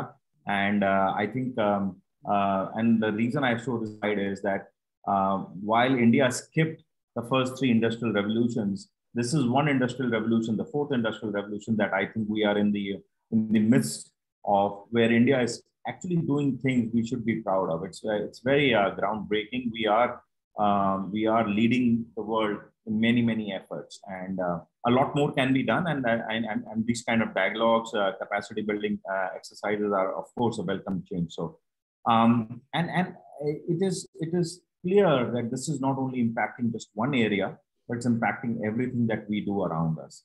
Uh, and um, I, I, could go on and give many examples there, but today's discussion I'll limit to something on the supply chain side. Um, the, the next point I do make is that while this is happening, and um, what we are seeing is Indians have become immensely digital. Uh, today, in the last eight years or so, since I've been associated with the various initiatives uh, around Digital India, uh, I can share that this number of um, 825 million, which is 82 crore internet users today, uh, was about 12 to 14 crores uh, eight years ago. So in, in the last eight years, this number gone up six to seven X. And that really makes us uh, talk about the second thing, which is while we have gone digital, India has done the second other thing, which I think um, which no other nation has done, is to build digital public goods at scale, at population level. And why this is important uh, to be discussed here is that today we have technology where data can be captured um, and, and uh, can empower the users at any level, from, from citizens to governments to, to any part of any supply, whether it's a digital supply chain or a logistics supply chain or a medical supply chain or healthcare supply chain. We have so much of data being generated. Everybody in this audience is, I'm sure, aware of this whole Aadhaar stack, the India stack that we have, starting from identity to, to the eKYC, DigiLocker, to the payments, the UPI. The UPI is producing about 5 billion transactions a month. Um, uh, that's, uh, and India as a total is doing actually probably about 40 to 50% more transactions than one of the world leaders in electronic transactions, which is China. So, you know, this is the, the bit sizing of um, payments that has caused so much of data to be produced, lot of data footprint to be produced that we now can match uh, just about everything. And then um, Professor uh, uh, Raj from Carnegie Mellon mentioned about GST. Um, GST is a great example, and with combined with the the airway bill system, uh, that now we have um, uh, the, uh, the, live real time tracking of uh, not only invoices being generated, you cannot fake invoices, the fraud detection, but also the whole supply chain logistics is being managed. You cannot just create an invoice which then uh, you can be used or you, can have, you cannot have duplicate invoices, you cannot have multiple invoices. Having a single uh, source of producing uh, validated, repudiated data, uh, documents is now the GST system. So uh, even um, uh, you know that that that has single-handedly led to so much of um, um, efficiency in the in the um, in the whole movement of goods. And I think that itself is a case study of how a small fraud detection uh, system using uh, uh, using AI can really help in uh, in detecting um, and, and ensuring that you know people are going with more valid documents and not just a piece of uh, duplicated paper. And of course, the last thing, which is uh, which is why we are discussing AI today, is the source of the, of all AI is data. So how, who controls the data? We have the fifth layer of the India stack, which is a consent layer, what we um, fondly call the DEPA architecture, um, data empowerment and protection architecture. All this combined today are digital public goods. It's available to everybody to be used. Uh, and because it's available to everybody to be used with the right set of um, interoperability, uh, what this does is this puts us in a very, very unique position. Um, and whether we disrupt supply chains or we disrupt any other uh, function, uh, we have the power to do that. And um, and the two other things I do want to mention, and uh, that's why I will uh, I was presenting these motherhood slides because what is also happening is we're seeing a lot of being produced in uh, regional languages. And uh, the interesting part is in, in, in, India's income pyramid, it is not just the top end of consumers. We have today participation from all levels of uh, digital natives in India, all levels of digital migrants from India. So we have we have data about being produced about everybody. So this is this has been a very inclusive um, movement where, where everybody is leaving a data footprint, has control over that data, and that is that is really enabling um, a lot of interesting decision making. The other point that I want to want to highlight from the slide is the voice part. Um, voice data is becoming um, a very very big uh, uh, strength and uh, asset um, India, given the voice diversity and the um, the the, the diversity and uh, uh, in educational levels, people are doing more, and more, and more interactions on voice. And I'll give you some examples and how this has been used. Um, in especially what uh, Professor Raj was talking about, so interesting in the in in in in, in getting those alerts from um, from the security agencies. This is one of the things that we are doing is to understand voice and uh, especially again, and that same example, if you just put out the US Postal Guard and put the Indian Postal Guard, that is actually true.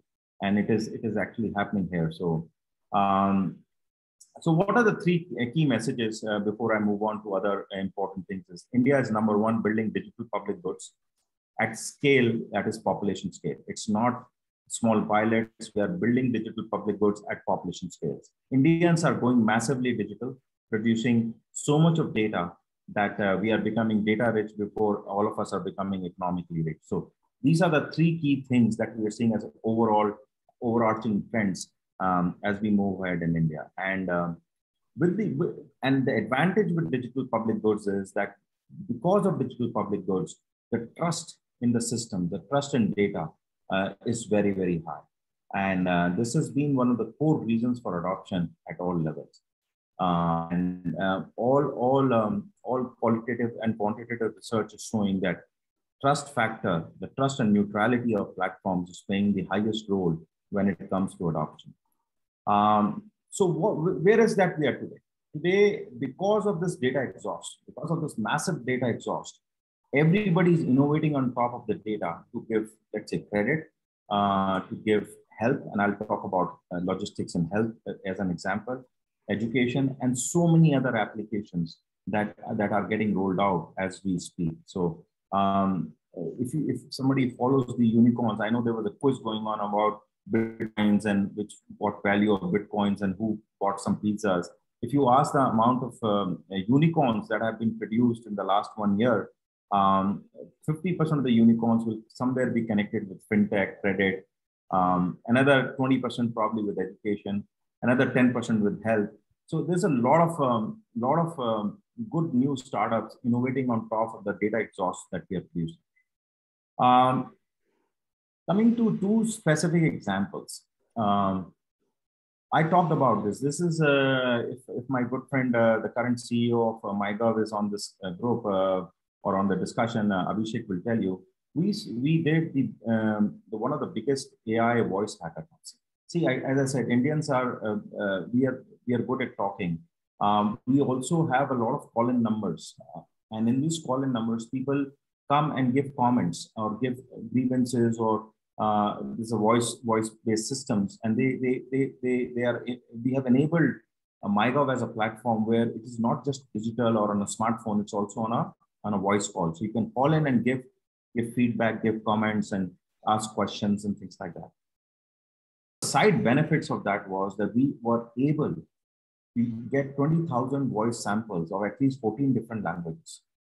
And in these 14 different languages, what we were able to do is use uh, in a, uh, you know, deploy a hackathon where our smart innovators actually could um, get access to this data. This is, uh, And this 20,000 is just samples. It's good. And with, with transcribed samples. And we were able to now create more accurate algorithms, which, um, which none of the uh, um, big platforms in the world were able to do and crack the code of if people were speaking voice in a, in a language other than English, Hindi, will we be able to translate it automatically? And this is now open data. This is what is being built out currently as we speak as voice, um, voice stack for India, again, as a digital public good. This, this has been applied um, to, to many speeches. This has been applied to many other, and it has worked um, in, in, uh, in this, you know, it's, it's been highly accurate. I don't have the exact numbers of whether it was 70% or 80% accurate, but I've been told it's, it's upward um, accuracy is more than 70% plus. So um, that is the kind of uh, work we've been able to do to develop this as public goods. Now imagine the impact of this in, um, in enabling healthcare or supply chain and in, you know having only data being uh, being textual data or data points being generated on a digital platform, you also can have voice commands and voice uh, voice data being uh, converted and action uh, as we as as we go along. The other big example I have, and this is something um, is a great example, not just in customs, but in general of supply chain, is this whole vaccine deployment platform. The greatest use of AI um, uh, technology today has been our CoWIN and the eVIN platform working together. eVIN is the Electronic Vaccine Intelligence Network. 28,900 cold chains were managed on a daily basis. 28,900 cold chains were managed on a daily basis. I'm repeating that.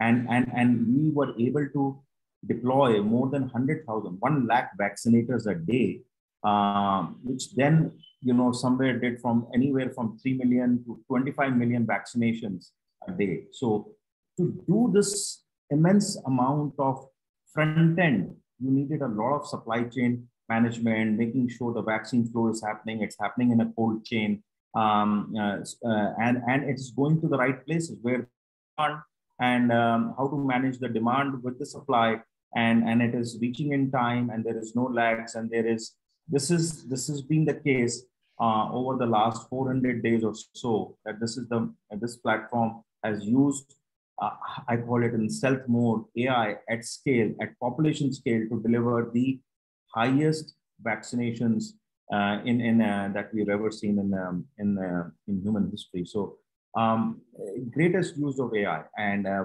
from eVIN, which is the vaccine intelligence, from barcoding it to batch, batch numbering it. Um, so a little bit of blockchain use there and making sure that, that the, the supply and demand that is coming from the front end is correctly matched with the back end and, and the right logistics is done all on a on, uh, on a uh, uh, autonomous uh, AI based system so that we are able to then um, you know there is no least amount of human intervention that is required and then only we could achieve this population scale. So this is one of the greatest example. The story is still not like 100% published because we are still on it is still ongoing but this is uh, this is something that is uh, something that we all need to be uh, talking about and uh, you know I'm, I'm, just repeating what i just uh, said. And uh, i think uh, professor has already talked about the uh, the, the customs. So I, I will not discuss this case study of the customs already using it. With this i i do want to just uh, thank the organizers one again and wish the rest of the conference the very best. Thank you. Thank you so much mr arvind. Quite a interesting points. And then uh, something that comes out is, you know, data seems to be uh, important everywhere. Uh, in fact, this was spoken by uh, Mr. P.N. Pandey, Mr. Akhilesh Pandey, again by Professor Raj, Mr. Professor Raj uh, Narayanan. Uh, I would probably now I would also invite Mr. Amit Balaratnam to come in. You know, Amit Balaratnam, because I know him, I'm also from the express industry and uh, i can say technology uh, has actually made our what i uh, fondly say as happy hands. Because i say happy hands because previously courier clearances were all done by manual clearances and then uh, we are talking of 10000 uh, millions of shipments getting cleared. So there was carbon paper everywhere. So you could always see that hands are either black brown blue whichever color of carbon that was used but now uh, I'd say now the people who are washing clothes may probably feel happier because the shirt remains white and not black, blue, and other colors. That's on a lighter note, but yes, technology has made a big difference. So can I ask Amit Balaratnam to uh, share his views, please? Thank you, Vasu. Thank you for the introduction. Uh, thanks to everyone. Um, uh, it's indeed a pleasure uh, for me to be here and to participate in this very interesting discussion. Uh, interestingly, uh, Mr. P. N. Pandey and Mr. Akhilesh Pandey have already covered a lot what we do, what uh, Vasu and, and I do. But uh, I think for the benefit of all, I'll, I'd like to share a small presentation and talk about what is it that the express industry is doing with AI, with the government, and how we as an industry have been using technology for a fairly long time to ensure that we are able to provide uh, speed uh, to our customers in terms of moving their goods globally. So without any further ado, let me please share with you some of the points will be common. Uh, beg my pardon for that. Yeah, so a little bit about EICI. We are actually a trade association which works in India for the express industry. Uh, we have various express companies and e-commerce companies who are our members. And uh, we have been, uh, we were founded way back in 1997 with the sole motive of ensuring that the industry has a voice in India. And uh, we also hold ourselves responsible as an industry towards the country, towards, you know, the rules, the compliances that with cross-border logistics, um, with domestic logistics as well. We have partnered with the government uh, on various projects. Uh, interestingly, ECCS, uh, which is the Express Cargo Clearance System, is a system that was jointly initiated way back in 2005 as a PPP project between uh, Indian Customs and uh, EICI to jointly ensure that we are able to automate the express clearance systems in India and bring them at par with what we have experienced abroad in our networks. Uh, we also uh, do initiatives with the government on skilling uh, because we are a very, very heavily uh, manpower driven industry. So it is very important for us to ensure that we have trained manpower. And uh, of course, with the government providing a lot of uh, support and a lot of encouragement, we've been able to take this skilling initiative quite far within the industry. And we continue to do that a little bit about the business. Uh, I'm sure most of us already know what the likes of uh, a DHL, a FedEx, a UPS, or a DTDC or a Blue Dart, Blue Dart does on the domestic or the international level. We basically pick shipments uh, from the doorstep of the shipper and we deliver it to the doorstep of the consignee in a matter of hours. We basically sell uh, speed. We spell. Uh, we we, we uh, you know we sell uh, you know our speed and our technology to the customers because we already know that uh, you know moving goods is uh, already something which has been one of the oldest professions in the world uh, we've just made it a little faster and we try to do the best we can in terms of providing best possible services to our customers globally as well as within india. A little bit about the industry in india. Uh, the industry is fairly old now. It took a bit of time for us to sort of set a footprint for ourselves in India uh, to be known uh, as what we are, not just uh, someone who's picking shipments from your doorstep and delivering, but there's a lot that goes into it. Um, globally, we are a fairly large industry. We are about a 250 uh, billion odd uh, industry globally. In India, we are at about 6.4 billion. Uh, we move a fairly large amount of shipments annually within the country, domestically as internationally. Uh, the express operators who operate globally have a good presence uh, in the aviation side as well. They fly in a fair number of cargo planes uh, in and out of India. This ensures that we provide dedicated space uh, for the time, uh, you know, for the time delivered product that we actually go to customers and sell. a fairly large employer as well. We are estimated to be employing about 26 lakh uh, people as we talk today within this year.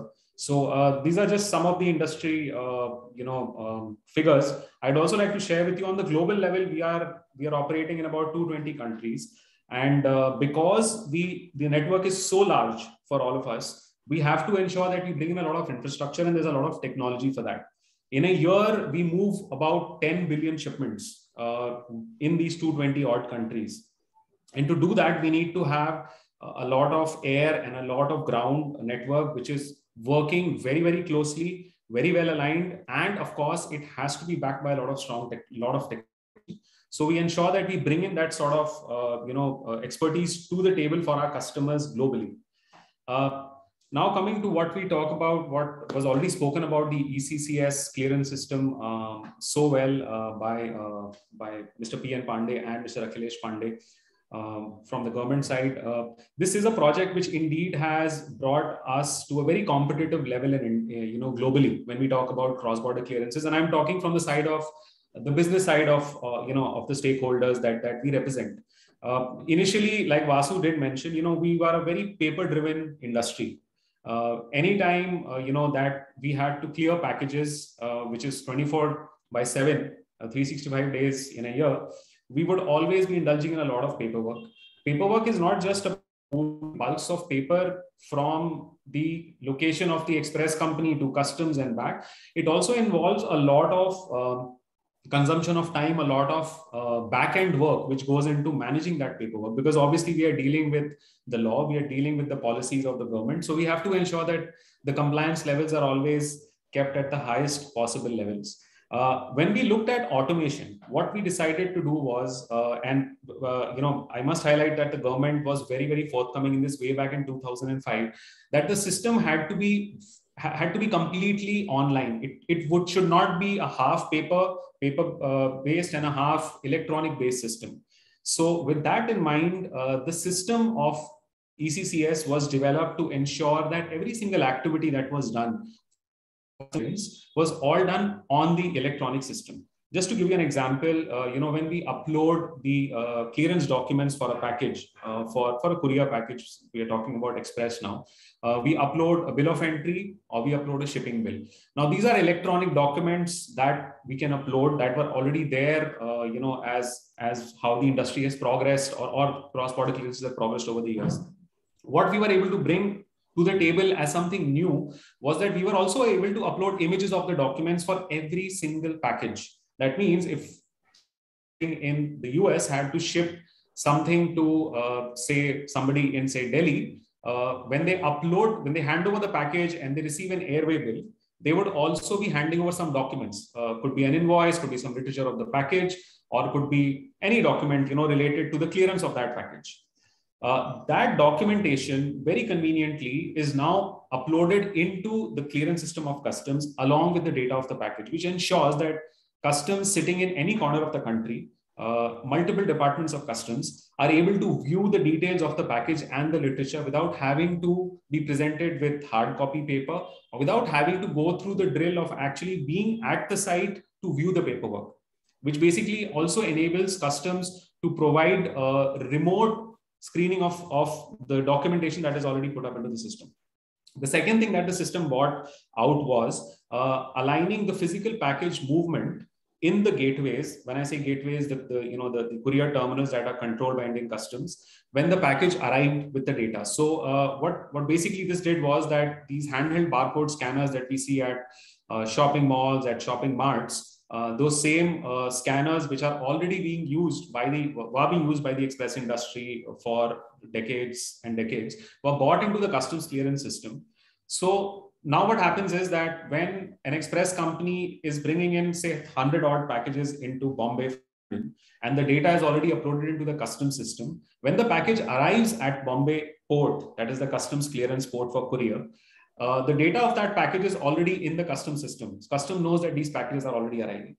They do what they, they already have the ability to in the backend work and process whatever they have to in terms of uh, clearing the package holding it for examination or for assessment what happens is when the physical package arrives at the facility at the Bombay port, the handling agency there or the custodian there is using the handled barcode scanner able to scan that box and immediately provide the input into the ECCS system that the package has arrived, which ensures that the uh, actual availability or visibility of the package is there in the electronic system of Indian customs.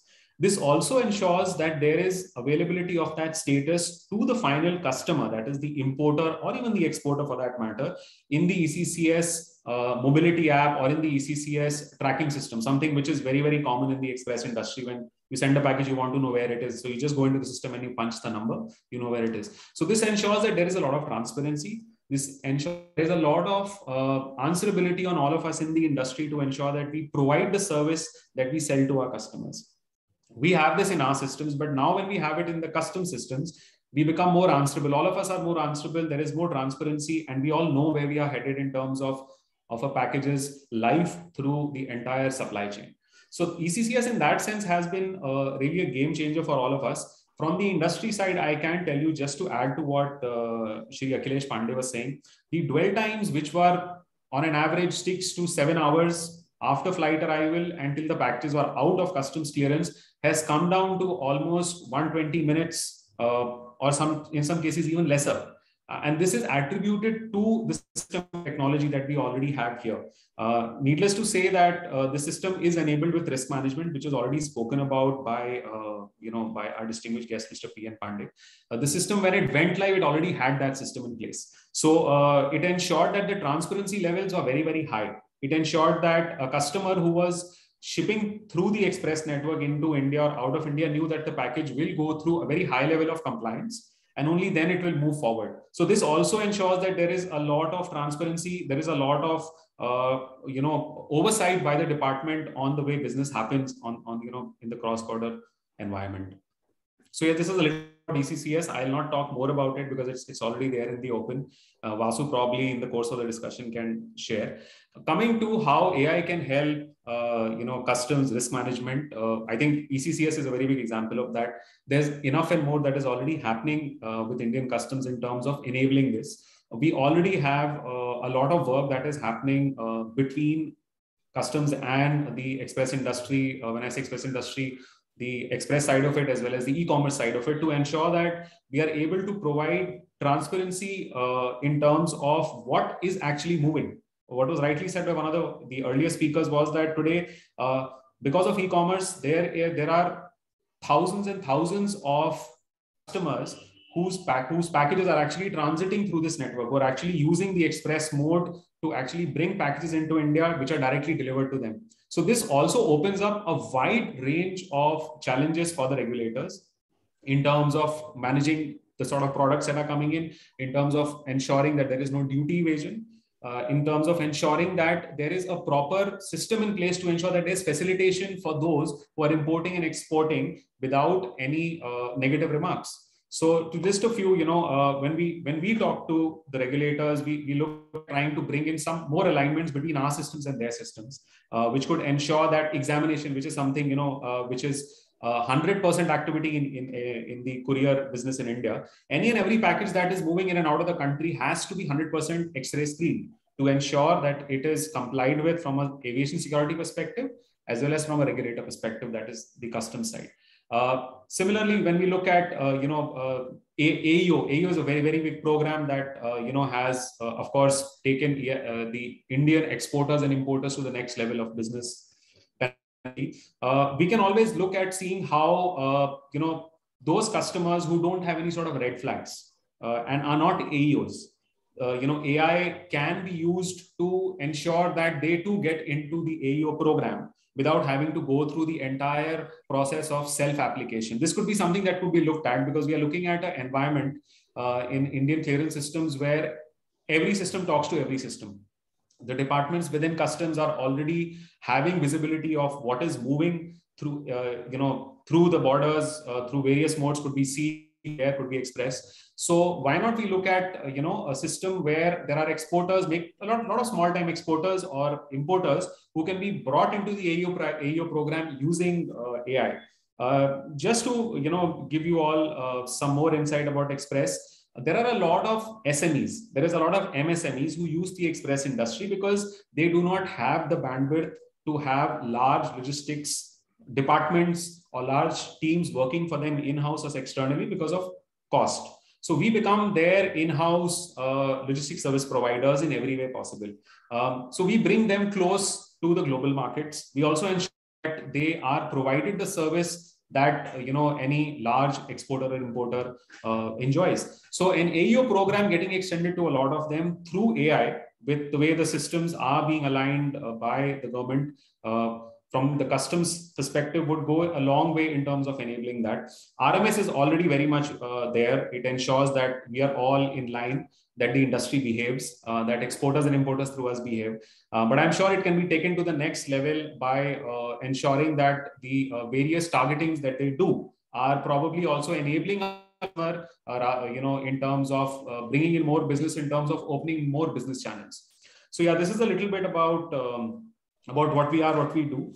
We, as an industry, already are doing quite a bit of AI um, in our systems, in our warehouses. We already use uh, robotic arms for auto sorting of packages uh, because that ensures more efficiency, uh, more accuracy for us. We are also using uh, AI and blockchain uh, for customer specific needs customer profiling, uh, where customers need specific sorts sort of uh, logistics services, including of goods, could be pharmaceuticals, which require temperature control, which need time definite delivery. There are systems in place through AI and blockchain, which are ensuring the complete monitoring of such movement of goods globally uh, to ensure that the packages, these medicines reach the, uh, you know, their final destinations without being tampered and in time. So yes, there's a lot, lot we are trying to do. And we continue to work closely with the government to ensure that we provide the sort of services and the transparency um, that is expected out of us as the express industry in India. So with that, I would like to thank, thank everyone for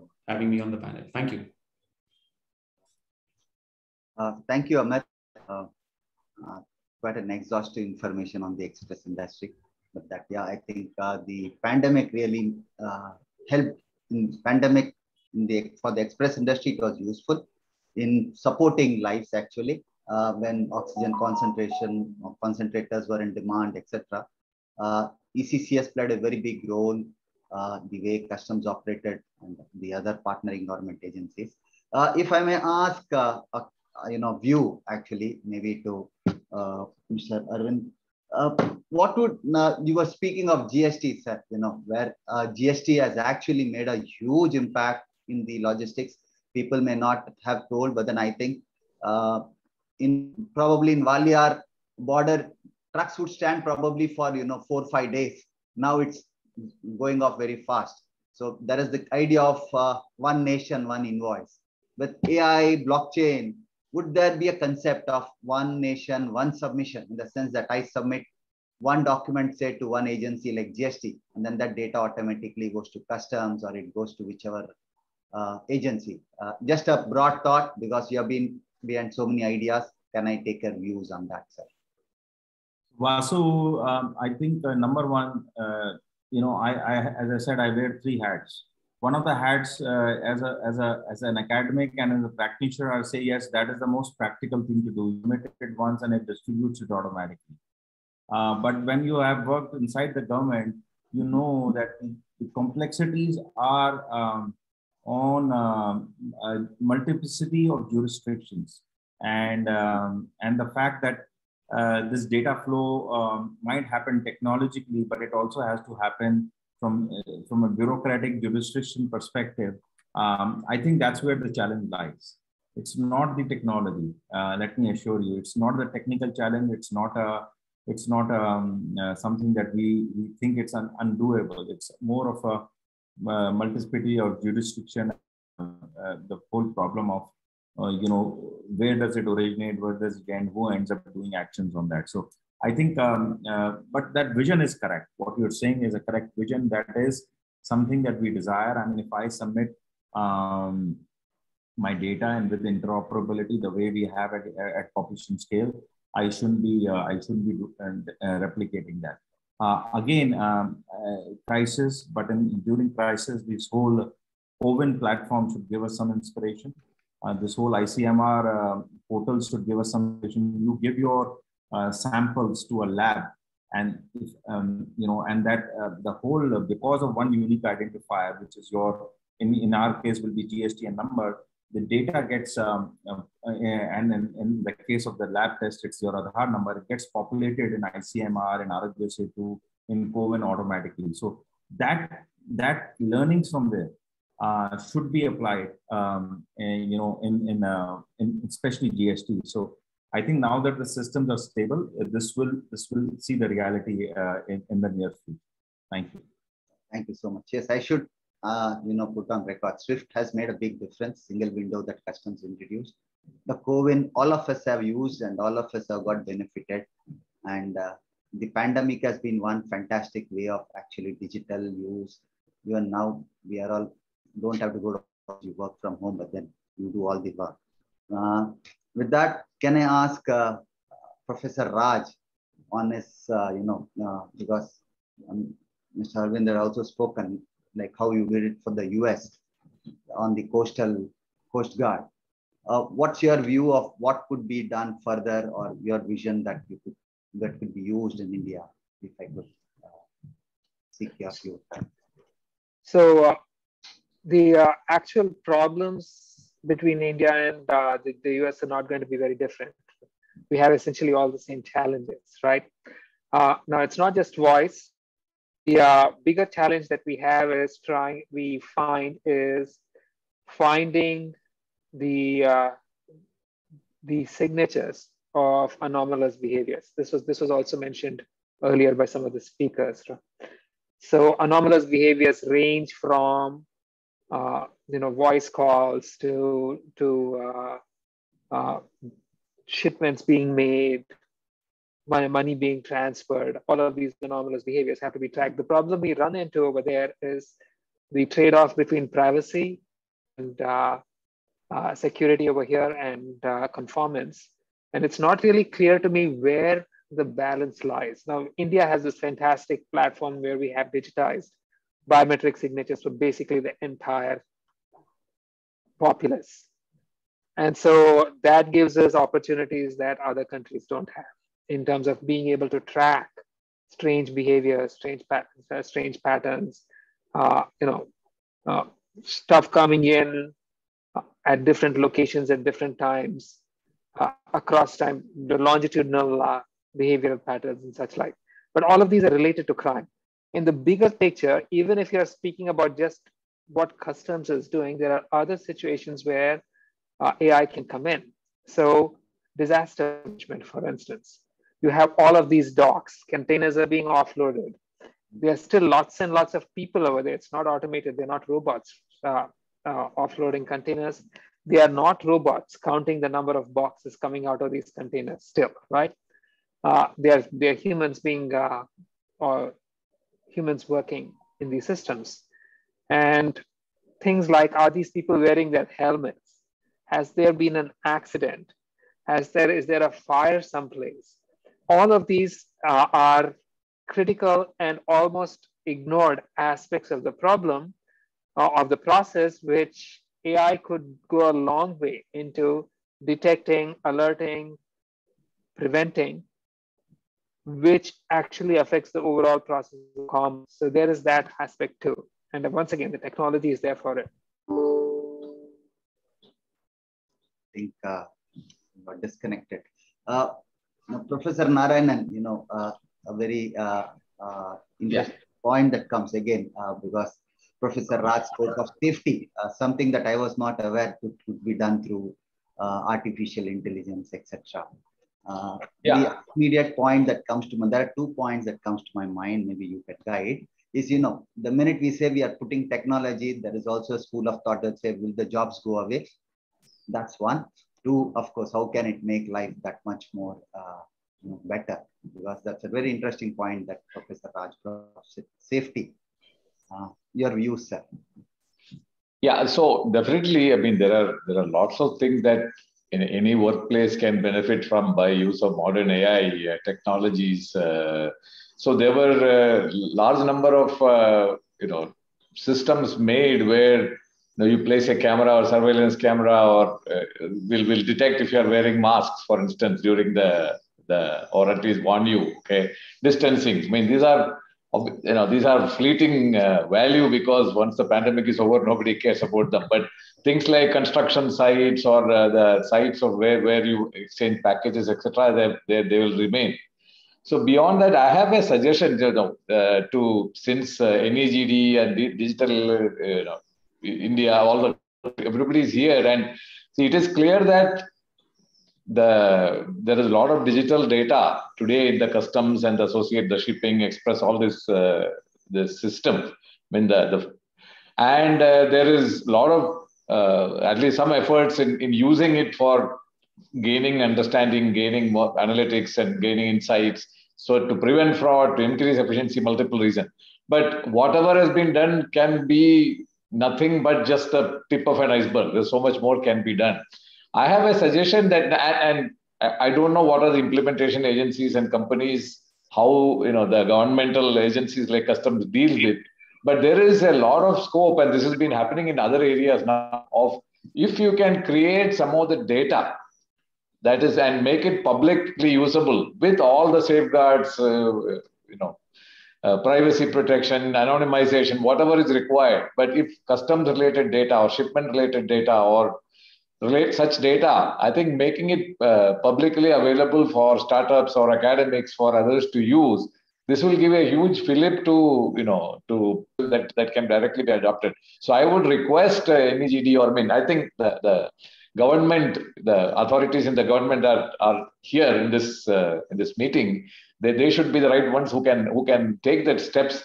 And uh, you know there are enough agencies academics many of us can help with you know the safeguards like anonymization and and uh, no no able no you know, sensitive information is not revealed. Commercial information is not revealed. These are very important obviously. But i think i, I believe all this can be done and a huge volume of data that is in in in proportion to what is today's ai if it's made available it'll be helpful to academically, helpful to startups, it will be helpful to the department. So I would like to place this request in front of everybody who is now here. This. Thank you. Thank you. Uh, Swati, do we have more time or uh, is there any questions that you would want to, that press come in the chat box that you want to post? Uh, firstly, uh, hi. yeah, yeah, Swati, please. No, go on, go on, Mr. Vasu, please. No, no, I thought I'll first thank because uh, I don't know how much of time more is left. I see solid. We actually, yeah. Yeah, uh, we are actually pretty much on the time. Mm-hmm. Uh, I see the speakers were kind enough to answer the questions of uh, uh, you know the participants in there, so I don't see any questions out here. Um, on that note, um, Mr. Ma- uh, Mr. Vasu, anything else you would like to uh, say to conclude no, the session? No, I think this has been quite a uh, amazing session. In fact, a lot of learning for me here. Uh, and then I, I, a common point that comes out is there's a lot of data available. Uh, India surely has been, uh, when I hear uh, Mr. Arvind or I hear uh, Professor Raj or I hear Mr.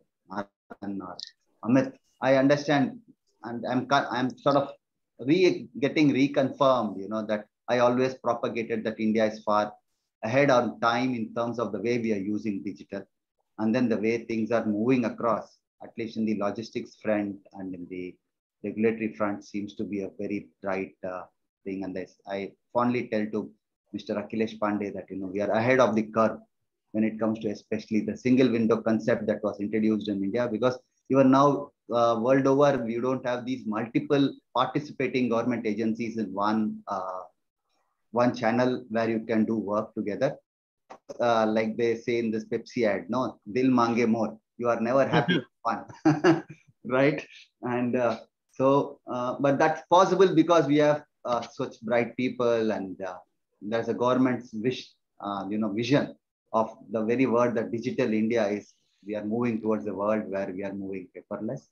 So I think I will not take more time, Swati. I'll leave it in your able hands to take it forward. Thank you so much. Sure. Thanks a lot, Mr. Vasu. And now I will request uh, Mr. Satyanarayan Meena sir to uh, you know deliver the vote of thanks and uh, closing remarks. Yeah, thank you, Swati. Uh, it was indeed a very informative and interactive session, and I hope uh, purpose for which Digital India dialogues have been initiated as being made to considerable extent. It is now time for us to conclude the session. I hope each of you gained insight and learnings to take away from these sessions. On behalf of NeGD, I would like to express my heartfelt gratitude to all the eminent speakers for sharing their experiences, knowledge, and wisdom with us. I would also like to express my appreciation to all the participants for their presence in making this program productive. Here, I would like to mention a big thank you to our President and CEO NeGD, Sri Abhishek Singh sir. Under his dynamic leadership, the DID program was envisioned and conceptualized.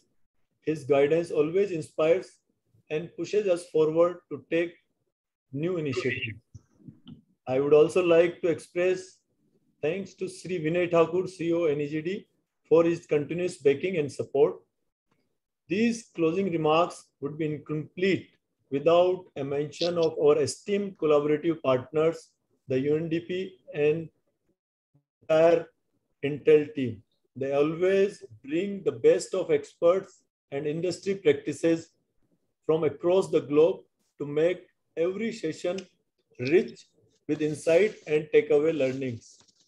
Last but not the least, a huge appreciation for my capacity building team for managing and coordinating the session so efficiently.